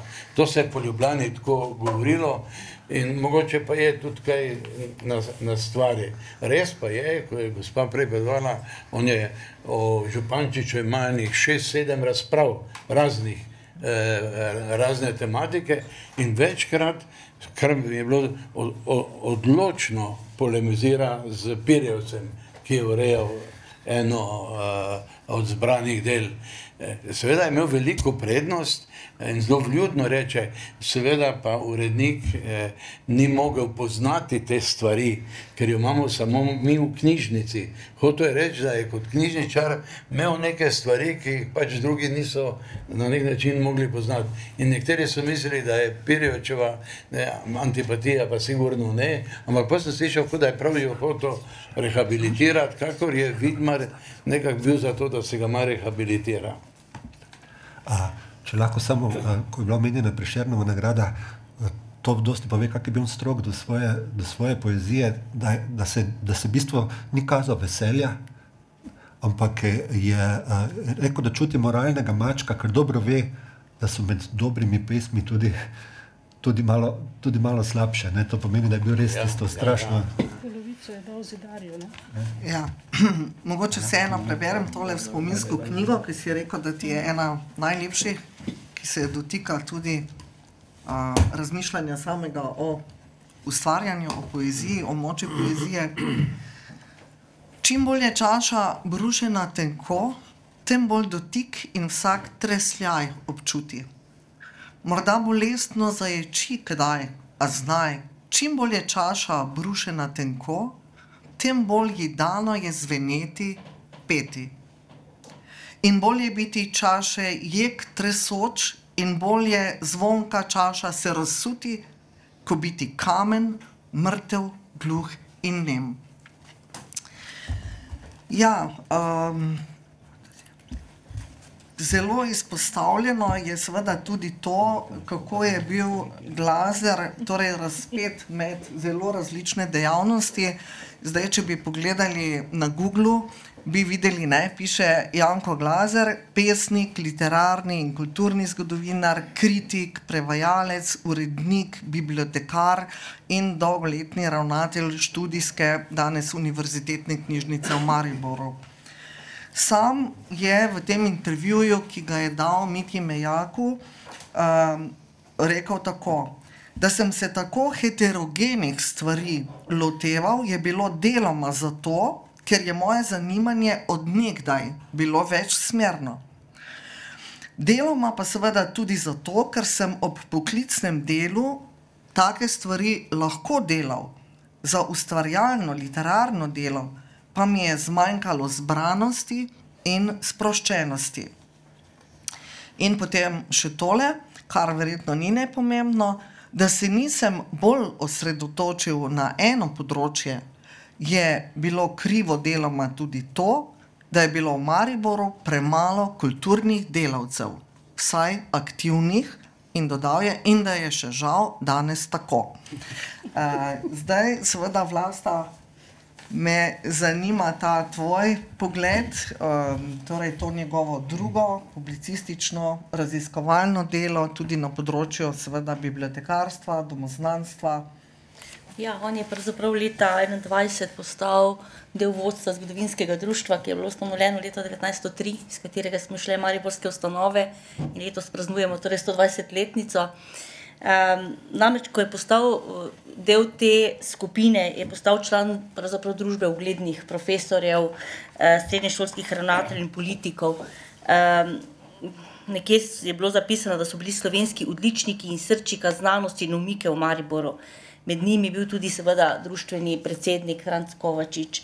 In ta družba, bom rekla, ker je prepoznala, da je potrebno za Maribor nekaj narediti, da bo tudi znanstveno napredoval, eh, je tukaj Glazer igral eno pomembno vlogo. In s tem, ko, ko je bil leta 26 imenovan za knjižničarja, eh, takrat družbene knjižnice, oziroma že takrat javne knjižnice in pozneje za ravnatelja, eh, je pravzaprav eh, se mesto, če tako rečem, dobro odločilo, ker je s tem bila dana možnost razvoja knjižnice, vse to, kar so si nekako zadali tudi takrat v zgodovinskem društvu, da bo knjižnica zbirala gradivo, ki bo omogočalo znanstveno raziskovalno delo. Eh, in potem, eh, po vojni, ko se je torej vrnil iz izgnanstva, je pravzaprav še to samo nadaljeval, eh, razvoj te knjižnice, tako da se je upisal tudi zelo dobro v slovensko in slovansko bibliotekarsko oziroma knjižničarsko sfero. Tako je v 60-ih letih organiziral v Mariboru pomembno zborovanje knjižničarjev jugoslovanskih, kjer so ravno govorili o domoznanskih in znanstvenih knjižnicah, kar študijske knjižnice naj bi bile in kar je bilo potem pravzaprav tudi ena podlaga um, Mariborskim šolskim zavodom in ustanovitvi univerze. Uh, treba povedati, da je knjižnica uh, bila uh, sopodpisnica ustanovitve univerze v Mariboru. Uh, mogoče treba izpostaviti tudi to, da je veliko prijateljeval tudi z Jankom Šlebengerjem, ki je vodil knjižnico, torej NUK. Uh, in ravno v tistem času torej sta zelo se bogatila oba fonda knjižnic. Namreč bilo je veliko sodelovanje med obema bom rekla, bibliotekarjema, ki sta kasneje, je to preraslo tudi v tako družinsko, torej prijateljstvo. In sta si, ne vem, če beremo tole korespondenco, vidimo, da sta si dopisovala, če sta nekje našla nek izvod, sta vedno poskrbela, da gre za dva izvoda. En je šel v Maribor, en je šel v Ljubljano. In prav piše, kako je, a si ti dobil paket, ki je bil preko z vlakom poslan v Ljubljano. Tako sta se pravzaprav gradila fonda obeh knjižnic. E, tako da mislim, da, in tako kot smo prej že se pogovarjali o tem, da je imel dostop do gradiva in to bom rekla, raziskovalno delo je tudi na tem področju zelo intenzivno upravljal. Um, tako da vse dragocenosti, ki so prišle v knjižnico po različnih poteh, danes nimamo časa, da bi o tem govorili, kako je poskrbel, da so te stvari prišle v fond univerzitetne knjižnice današnje. Je pravzaprav izkoristil in o tem tudi pisal, torej promoviral, kot bi rekli danes, gradivo, ki ga je knjižnica imela eh, ali pa ga ima še danes. In, um, In s tem smo lahko tudi uh, hvaležni, da danes imamo te številne razprave o mariborskem kulturnem življenju in društvih in dragocenostih, uh, da so omenjene razstave, ki so vedno temu sledile tudi številne razprave. Tako da pravzaprav kot knjižničar se je zelo, uh, bom rekla, pomembno vplival v razvoj mesta. Um, nekje sem prebrala, da je pravzaprav uh, uh, je Baš eh, napisal v njegovi 60-letnici, da je Glazer z mrljivosti čebele izpopolnjeval in dopolnjeval knjižnično gradivo in v svojstvu znanstvenega literarnega mentorja Maribora ustvari študijske knjižnice osrednji Mariborski znanstveni zavod. Uh, mogoče še omenim samo tudi uredniško delo, ne? bil je tudi uh, urednik časopisa za zgodovino narodopisje, torej glasila zgodovinskega društva. Uh, Prav tako je zelo pomembno tudi to, da je sodeloval s slovenskim biografskim leksikonom, pripravil številne biografije eh, pomembnih eh, mariborskih ali pa štajerskih eh, posameznikov, eh, tako da so ta njegova dela res eh, prispevek v tej nacionalnosti. Namreč iz te pokrajinske je vedno gledal tudi na celoto, to se mi zdi, da je treba izpostaviti. Ne. Še zdaleč od tega, da bi samo skrbel za mesto, ampak je vedno želel to promovirati in eh, bistvo povezovati v celotnem slovenskem narodu bil urednik za poezijo pri obzorih. Pri obzorih, tako ne, teh uredniških del imel še več, ne, ampak. Eh, da to se mi zdi, da je tista njegova pomembna vloga in tu se kaže ta, ta, ta drugi del ne, njegovega znanstvenega dela, torej raziskovalno delo, vodenje knjižnice, graditev knjižnice, razvoj knjižnice, hkrati eh, bom rekla tudi raziskovalno in znanstveno delo. Ja, hvala. Uh, Andrej, ti si kot urednik um, kar res dobro poskrbel za Glazarja že leta 1993, ko je bila eh, stoletnica uh, torej rojstva. Sta pri založbi obzorja, takrat v tvojem uredništvu in z velikim tvojim angažmajem, seveda, išli kar dve zelo pomembni, zanimivi, zajetni knjigi. Eno je izbor Glazerjeve poezije, ki ga je naredila Alenka Glazer in zajema pravzaprav vse pesmi od leta 1909, ko je išla njegova prva pesem, objavljena v Ljubljanskem zvonu, pa do zadnjih pesmi, ki so išle leta 1975, torej tik pred uh, njegovo smrtjo. Kako jih je razporedila, smo že povedali. Knjiga ima tudi obsežno, dragoceno študijo, ki jo je prispevala eh, Alenka Glazer. Druga knjiga, pri kateri je Alenka prav tako sodelovala in tudi ti zelo intenzivno, nastajala je seveda pa kar precej časa, eh, je pa knjiga zelo zajetna, eh, knjiga razprave, članki in ocene ki jo je izbral, uredil in opombe napisal Viktor Vrbnjak. Um, to, ta knjiga zajema skratka, zelo, zelo široko področje glazarjevega eh, delovanja in morda bi samo en citat iz uvodne besede, torej uvodna misel um, Vrbnjakova. Eh, pravi takole: Izbrano gradivo ponovno odkriva kot enega najpomembnejših avtorjev, torej Glazerja, kot enega najpomembnejših avtorjev znanstvenih in publicističnih besedil z področja humanistike, kar jih je v prvi polovici prejšnjega stoletja dala v to vrstno zakladnico severovzhodna Slovenija. Glazer je suvereno združeval obvladanje pokrajinskih detajlov in hkrati obširno poznavanje celotnega nacionalnega slovenskega prostora. Posebej izpostavlja tudi njegov pomen za slovenstvo. No, pa me zanima torej, eh, nekaj iz tega obdobja, kako sta, to je bila tvoja ideja, tvoj projekt, ki se je tako uspešno tudi realiziral, in hkrati ste seveda potem imeli še načrte tudi za zbrana dela slovenskih pisateljev, si imel ti konkretno, ki so pa takrat že izhajala pri literi, ne, ko si bil urednik. Ne, ne. Deset let potem. Ja, ja ampak pravim, kasneje ja. pri literji in tam si imel tudi, seveda, načrt, da bi izdal glazerja. Mogoče nam kaj o tem poveš oboje. Ja, takrat, 1993. leta je bila stoletnica glazerjevega rojstva in že takrat nam je bilo jasno, da se pravzaprav skrb za slovensko literaturo ne dogaja več centralistično se pravi, ne odločajo o tem, kdo je velik avtor, kdo ni, kdo bo prišel zbrana dela v Ljubljani, ampak se to dogaja regionalno. Se pravi, predvsej pred politiko. Politika še danes ni zmogla uh, formirati eh, slovenskega regionalizma. Nam je bilo to jasno.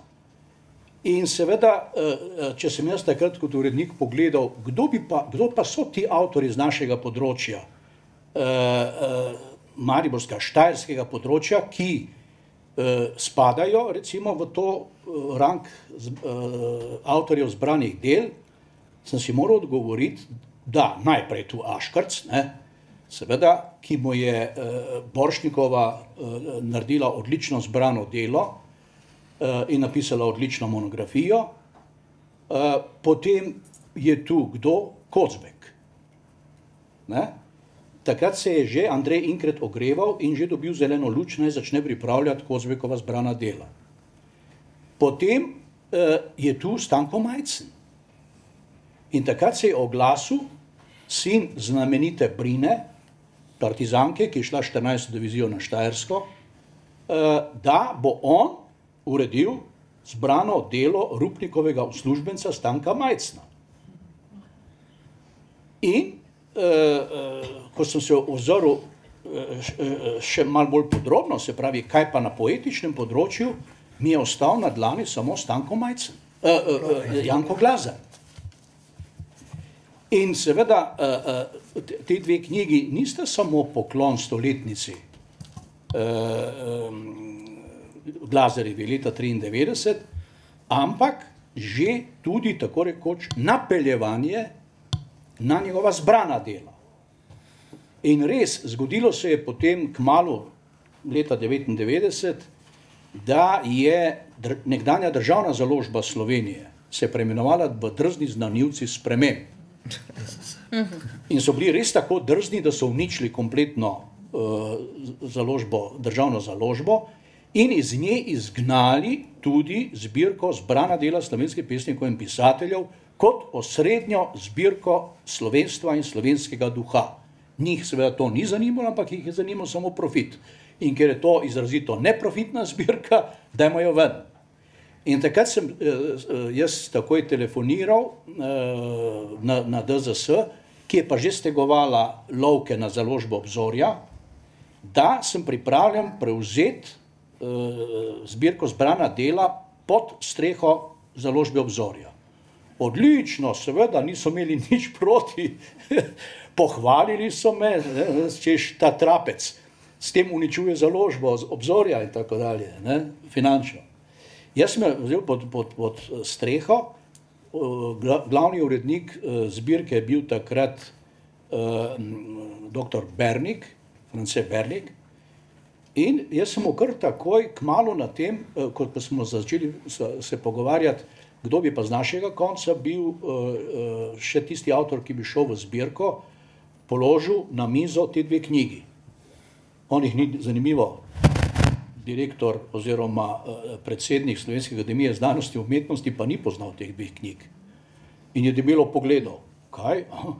Nič, glas gre not, glas gre not. Hočem povedati, kako uh, uh, središče, ki izgublja svojo nekdanjo središčino veljavo, malomarno, včasih reagira na zelo pomembne stvari. In takrat se smo se potem, uh, Alenka Glazer je ustrajala, da ona želi urejati zbrana dela svojega očeta, kar je precej nenavadno, tega do, do, nismo do takrat še doživeli znotraj zbirke, ampak Bernik je bil tako fleksibilen, da je rekel, v redu, ja. Žal, Alenka, poznamo jo, počasi je delala, do smrti ni naredila nič. Jaz sem jo večkrat nagovarjal, Eh, dajte urediti vsaj prvi knjigo, prvi zvezek, da se Glazar usede v zbirko, ker nič ne vemo, kako bo pozneje. Ne? E, žal ni bilo nič. Zdaj pa, če sam malo še nadaljujem, kako je bilo potem, ne? E, jaz sem se strašil v pokoj in tako, in, in, ampak vse skozi, ne vem, sem čutil kot neko svojo uh, interno dolžnost, da poskrbim, da glasba pride v zbrana dela. Vedno bolj mi je bilo jasno, če ne bomo mi tukaj, pod Pohorjem, v Dravski dolini, na Štajerskem poskrbeli za svoje avtorje, ne bo nihče.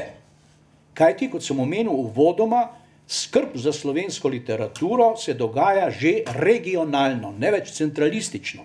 Primorci skrbijo za svoje avtorje prek Murci skrbijo za svojega Miška Krajca, ki zdaj slišim, da grejo že dogovori za, za njegovo zbrano delo in tako dalje in tako dalje. Mi moramo, moramo poskrbeti za svoje.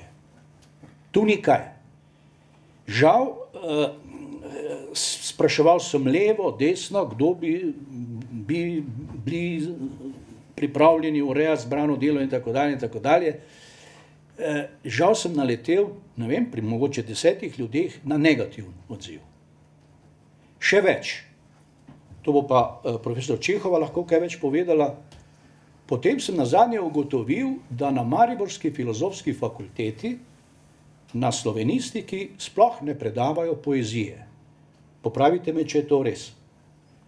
Poezije sploh ne predavajo, da, eh, tudi da ni ustreznega profesorja. Opla, kaj pa to zdaj je? A je to potem sploh prava fakulteta? Kako je to možno? da, da, da ne predavajo poezije.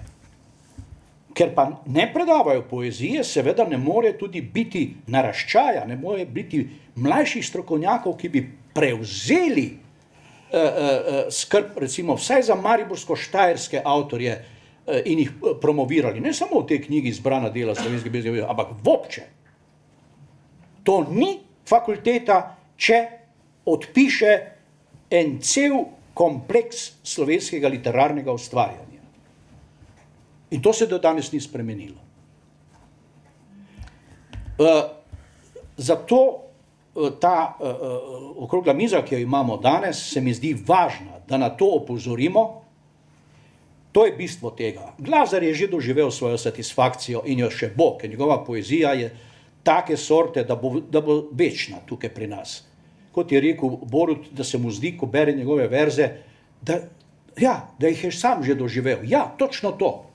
To je znak dobre poezije. Ali kot pravi, sam to vam omenim, še mi gredi prej, ko smo se pogovarjali, uh, kdo je kaj v glazirju rekel, Božo vodušek. Odličen pesnik, ne? Uh, ki, ki, je, ki je v naših razgledih, ko je šla ta pe, uh, napis pesmi in napisi, bo nasprotil z Vidmarjem, ki ima res kosmato, ki je imel res kosmato ušesa, eh, kar zadeva poezijo, napisal naslednje. To, kar posebej odlikuje Glazerevo poezijo, ni njegova literarna tehnika, ki sama na sebi še ni noben recept za dobre verze in je zgolj nekaj časovno določenega. Posebna vrednost te poezije je v tem, da je resnično doživeta, enotna, originalna, tako da najdeš v njej precejšnje število verzov, ki ti nehote ostanejo v ušesu. Boro, to je tvoj, ne, tvoja ugotovitev.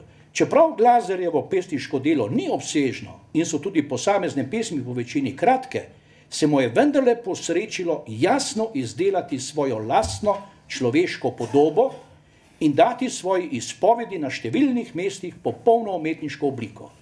Mislim, da za samega poeta ne more biti večjega priznanja in pohvale, kot če si bojo pravci ob prebiranju drobne knjižnice njegovih izbrane poezije rekli, da jim je občutke, ki so se oglasili v njih, lahko zbudil samo on. No, to je to. Ne? Torej, kot rečeno, Glazar, Glazar uh, uh, je večen, kar zadeva, kar zadeva njegovo prisotnost v slovenski kulturi in v slovenski poeziji. Ampak to, kar se pa dogaja z njegovim zbranim delom in to, kar se pa dogaja, če je to res, profesor Čehova, prosim, da, da me popravite, če ni res, to pa je seveda nezamisljivo, to je višek. Amen za zdaj. Jožica, izvoli. Ja, sem bila izvana. Eh, gospod Brvar, ne vem, odkot imate te informacije. Zdaj, eh, pri nas so se programi zelo spreminjali in smo tudi predmete zelo spreminjali. Profesor imamo... Škohec mi je to povedal. Ja, vam bo povedala. In mi imamo seveda zdaj predmete po literarno-zgodovinskih obdobjih, ne po zvrsteh. Prej smo imeli poezijo, smo imeli prozo in dramatiko.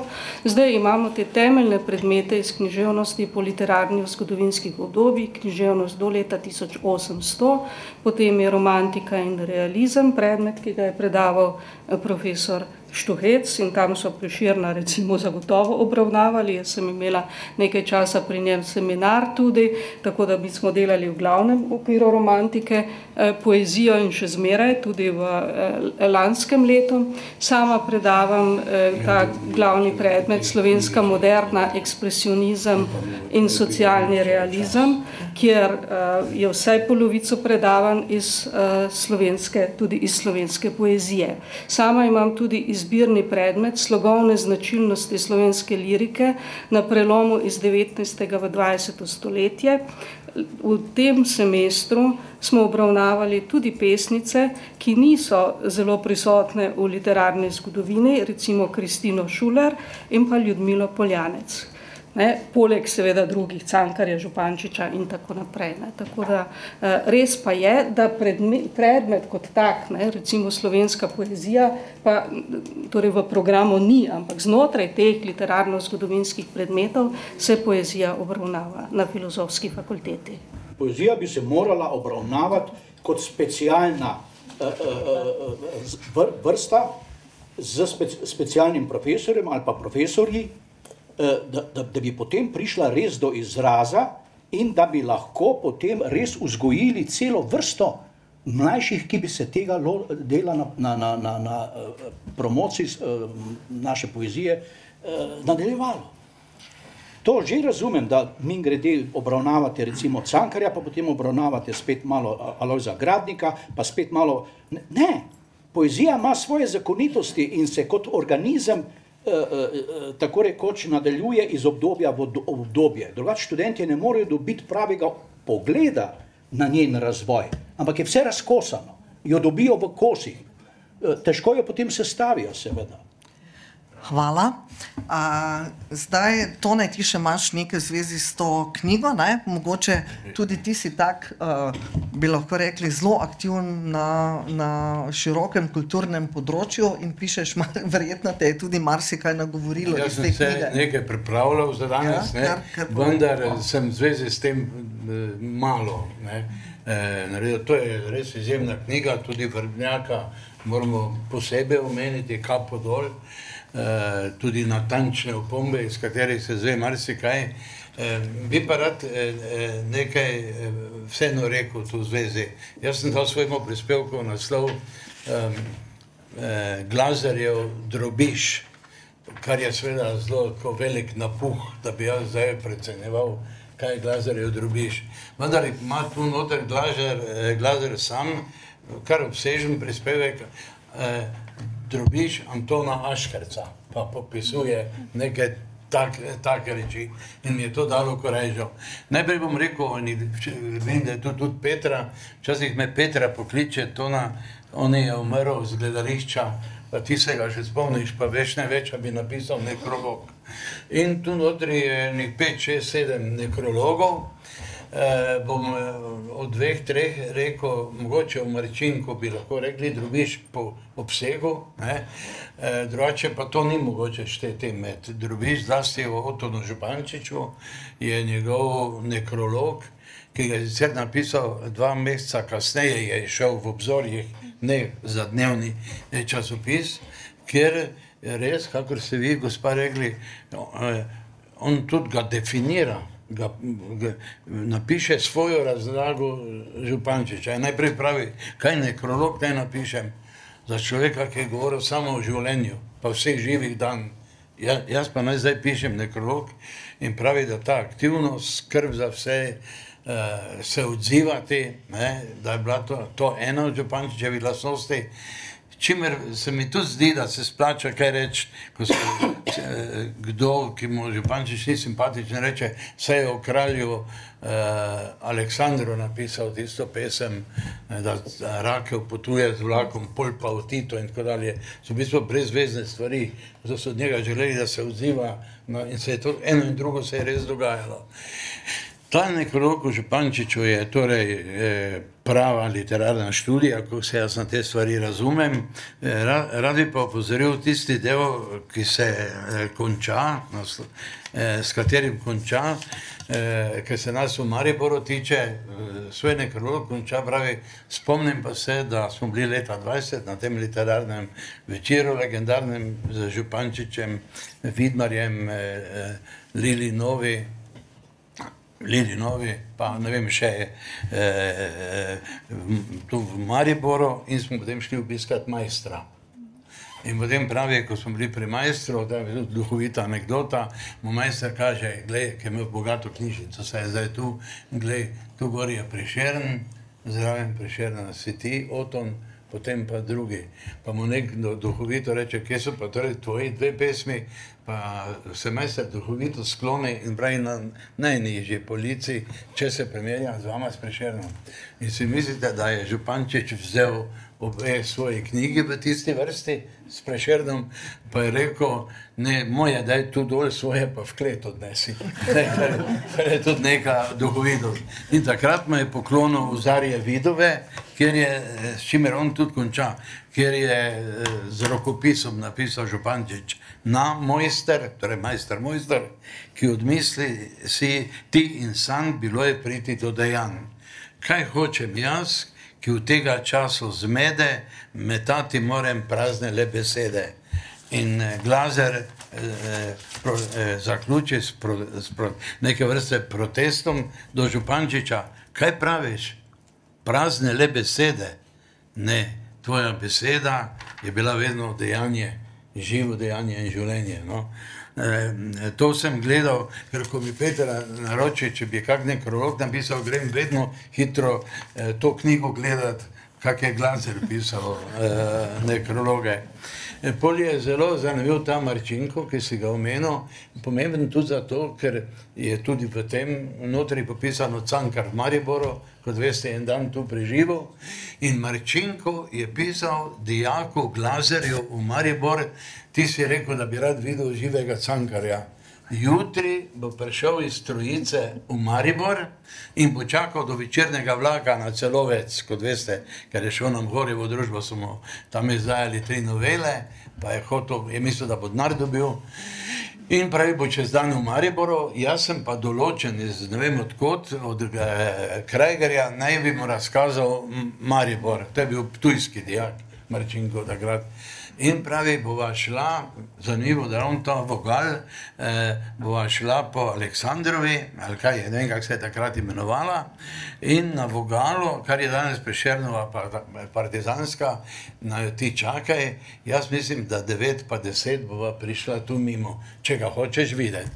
In prihajata in eh, glazer poetično piše, ampak vsi drugi tudi, vsi drugi, tudi kar je neverjetno, da je bil Cankar karizmatična figura, če je hodil po cesti s tistimi brki, majhen, nikoli na obleke je kar dal, bil tudi tokrat sivi oblek, majhen prej, ampak ljudje so se ozirali in, in gledali na njega, zlasti ženske piše. Kako za tabo? No, super, e, mi pokaži drugič kako.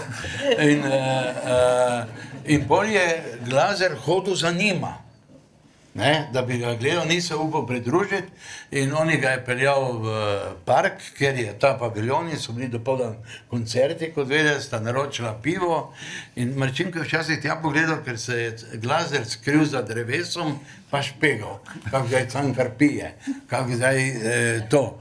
In mu cankar reče, pa kaj ti ja gledaš? Pa pravi, Andy, glazer je pa objavil dva meseca prej svojo prvo pesem v Ljubljanskem zvonu. Se bi se moral spomniti, kaj je naslov. Doma v planini. Ja, ja. In eh, sam ga reče, pa kam, on je rekel, pa tam je en dijak, ki vas takrat videl. Rekel, kaj ga serije, sem ga povabi, je naročil pivo in pol je glaser se cel dan družil z eh, Župančič, eh, z Cankarjem, ki je vmes šel k dolarju na obisk. Eh, dolar je pa že pet let plačeval en kredit za Cankarja, ker mu je šel za pričo, pa Cankar ni nikoli plačeval in ta se je šel malo pravičiti. Ja. In potem pa Cankar piše eh, eh, Šventnerju, vmes sem se ustavil v Mariboru, ampak se nisem hotel v Narodnem domu družiti z rodoljubi, ampak z nadobudnimi dijaki. No, to, povem. Ampak eh, ta nekrolog za Marčinkom je kratek, presunljiv, ne pove, kaj se mu je zgodilo, kljub temu pa iz eh, zgod, zgodbe veš. Ne bi mogel reči, da je objektivno, ampak je to osebna izpoved. Zelo je zanimiv, ne bom zagovoril drugih, zelo je zanimiv nekrolog Franu Elerju, ki je v, Maribo, v Ljubljani predaval finančno pravo. Eh, ki pravi, ne na Koroškem, ker je šel z Koroške, ne tu ni dovolj znan in na nek način eh, eh, opiše, kdo eh, Eler je, celo dve strani je več kot Canke, eh, Župančičevega nekrologa, vmes pa citira, imam nekje napisano, ampak mi verjemite po domače, pravi, seveda je bil tradicionalist, on o Elerju, zato danes ni tam popularen, ko pišejo moderno.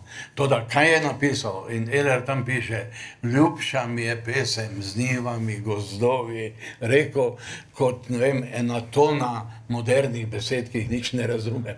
To je uporabil glazer tudi mogoče zvezi s seboj. Ti lahko sam prekinem. Zanimivo pa je, da je Elerja skušal potegniti uh, in, ga, in ga na pravo mesto postaviti, postavil ravno pod Belšek. E, V svoji antologiji, ki je išla med vojno. Aha, Ja. In je Elerja postavil zelo visoko, vendar spet ob nepravem času, ker je pač bila Ni, vojna. nisem vedel, jaz sem samo Ja. pri Župančiča videl, ki ga je tako visoko postavil. Torej, tu notri so pa seveda tudi taki nekrologi, ki so bili na silo, ko smo občutek, da ga je nekdo klical, daj napiši do jutri. E, to je to, kar jaz imenujem malo krivično drobiš, v, res, v resnici pa je. Mogoče bi se še samo s tistimi epigrami kdaj kasneje, če ne bo ura prepozna, Ja. ne govorim preveč. E, Ja, zdaj smo prišli do zadnjega sklopa, to so Glazerjeve nagrade, odločitev za Glazerjeve nagrade, razmišljanja o nagrade. primernosti poimenovanja in njegovem odražanju v izbranih prijemnikov priznanj. Uh, prej smo slišali v uvodnih besedah, uh, kaj vse je poimenovano po Janku Glazerju, tako v Rušah kot v Mariboru. Jaz bi tu samo spomnila, vem zanesljivo iz besed Alenke Glazer, da Glazerjeva ulica v Rušah ni poimenovana po Janku Glazerju, ampak po njegovem sinu, ki je padel med drugo svetovno vojno. To niti slučajno ni bilo poimenovano po njem in je bilo že takoj po vojni in to mi je Alenka sama pripovedovala. Danes seveda vsi mislimo, ko se po tej ulici sprehajamo, ne, da je to pač zaradi Janka Glazerja. Sam trenutek, preden gremo na nagrade, moram tudi nujno pa ker smo bili pri nekrologih, en, en podatek bi rada dodala, mogoče je kdo tudi bil, sama sem bila Alenkina študentka takrat, ko je Janko Glazer umrl. In po tistem je imela neko spominsko predavanje, komemorativno o njem. Uh, in mogoče, da povem, da, da tudi marsikaj to o njej pove, ne, ve- veliko vemo, ampak je rekla, da njegove zadnje besede, ko je umiral, kakšne so bile, ne, težko je dihal in je rekla, oče, odprem okno. In on je rekel, saj je vse eno. In potem je Alenka rekla, "Nik- noči in noči bedim in si razbijam glavo, kaj mi je hotel povedati. Ali to, da je vseeno, ali mi je hotel globlje sporočilo pustiti, da je vse eno. takšna je bila ne, in, in s tem se je ukvarjala verjetno tudi do, do smrti. Hvala, Zora Jurič. Ja, hvala. Uh, zdaj pa predajam besedo ja, magistru Franciju Pilcu. Vabila bi o tem moral govoriti dr. Štuhec. Ne? Jaz ne vem, kaj bi on o tej povezavi med uh, Glazerjem in nagradami po, poimenovanimi po njem govoril. Jaz bom pač ugibal, kaj bi to lahko bilo. Ne? E, nimam pa nobenega pooblastila, od, ne od odbora, ne od koga drugega. Ne? Smo imeli pa lansko leto, novembra, ob razstavi Ritonjevih eh, portretov glazarjevih nagrajencev, eno nadstropje nižje, eno okroglo mizo. Eh, in eh, spomnili se boste, da je glazarjeve nagrade ustanovila samoupravna kulturna skupnost Maribora pod vodstvom dr. Žnidariča. Po njeni ukinitvi šele pa so prešle v pristojnost Mariborske mestne občine. In povedali smo tudi, da smo se pri ustanavljanju zgledovali po ljubljanskih župančičevih nagradah, kar pa bi že malo napeljevalo na poimenovanje po Glazerju, ker sta si bila v mnogih ozirih blizu in ker je Glazer veljal za nekakšnega mariborskega župančiča. Žnidarič je tudi pridobil uradno soglasje Alenke Glazerjeve k poimenovanju in se spomni, da jo je to zelo vzradostilo.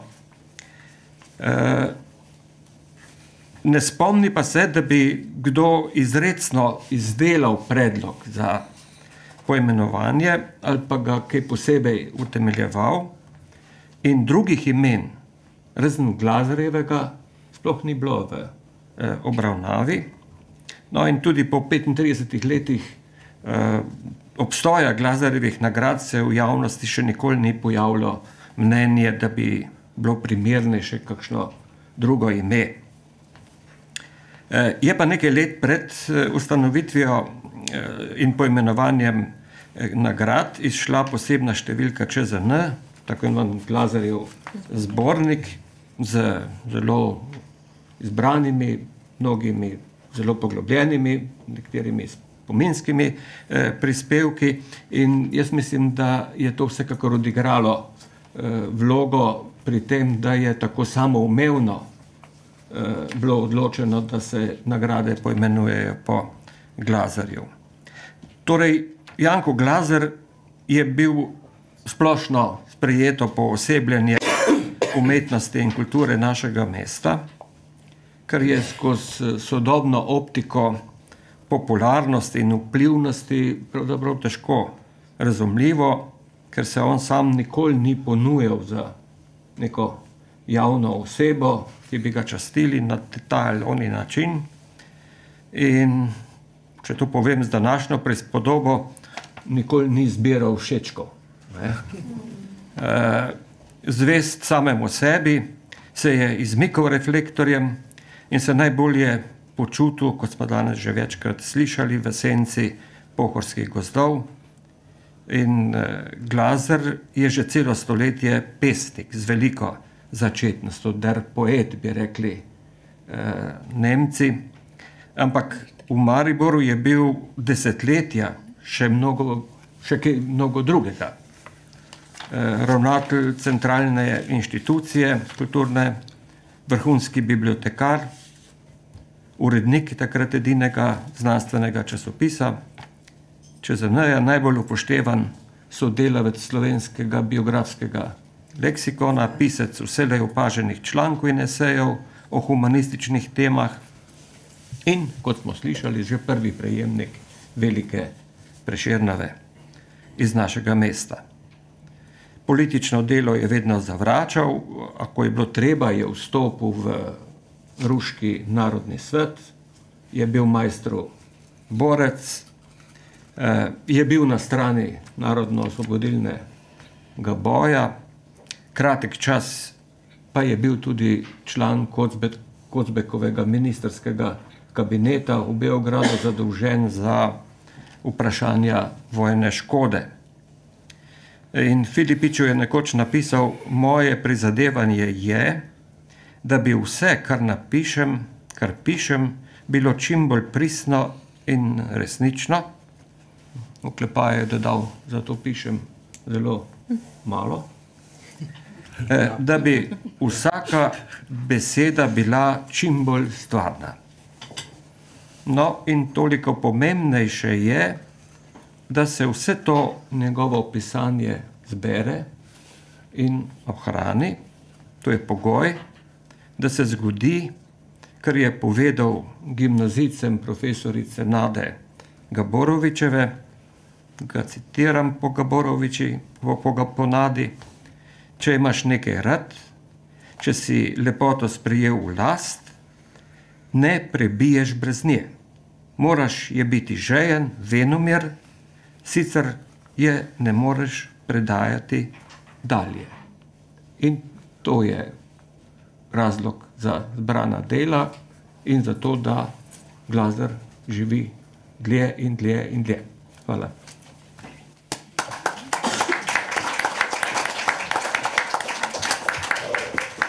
Ja. V Rušah sicer vem, da je tudi na gimnaziji in srednji kemijski šoli so tudi glazarjeve nagrade za kulturne dosežke, pa ne samo za občino Ruše, ampak tudi za občino Lorenc in Selnica, ki sodelujejo pri tem razpisu. Uh, tako, mi smo s tem, s tem na nek način zaokrožili, ti bi še pa nekaj o epigramih, vsekakor. Daj, eh, eh, mislim, da je nekdo rekel, čisto na drugi ravni, eh, Glazar, ne, je velik časovni preskok in pristop k razumevanju poezije.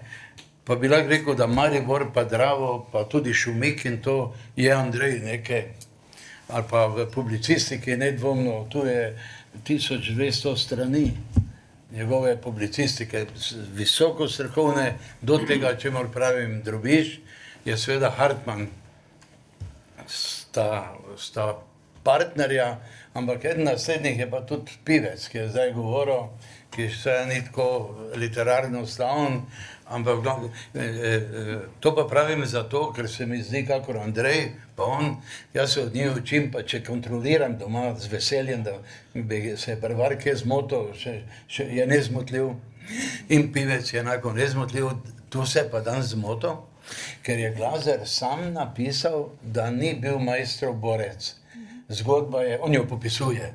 E, zgodba je bila taka, on je šel takoj peš v Ruše in so ustanovili tam ta narodni svet, vendar je bil samo dva dni, ko je videl, da so funkcionarji narodnega sveta Ruše za sebe poskrbeli za časne funkcije, mogoče, ni jasno, bi se dalo tudi kaj profitirati, za one, ki pa so morali stražiti pred tovarno dušika, pa na Britov in tako dalje, pa so pošiljali preproste, zlasti kmečke ljudi. In se je ujezil in je šel k majstru se prijaviti, da bi bil pri njem.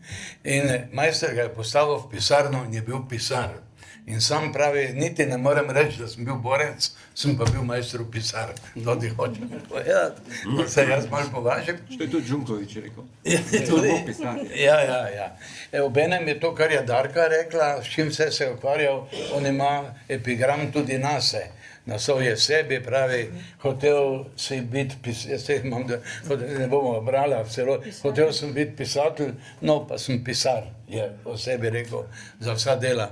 Oglasil sem se zato, ker so ene stvari vseeno, tu zvemo za njegov krok prijateljev, ker je recimo eh, direktor eh, ali ravnatelj jetnišnice Niko Vrabel, z njim si je dopisoval skoraj, bi rekel, njom rekel kar naprej.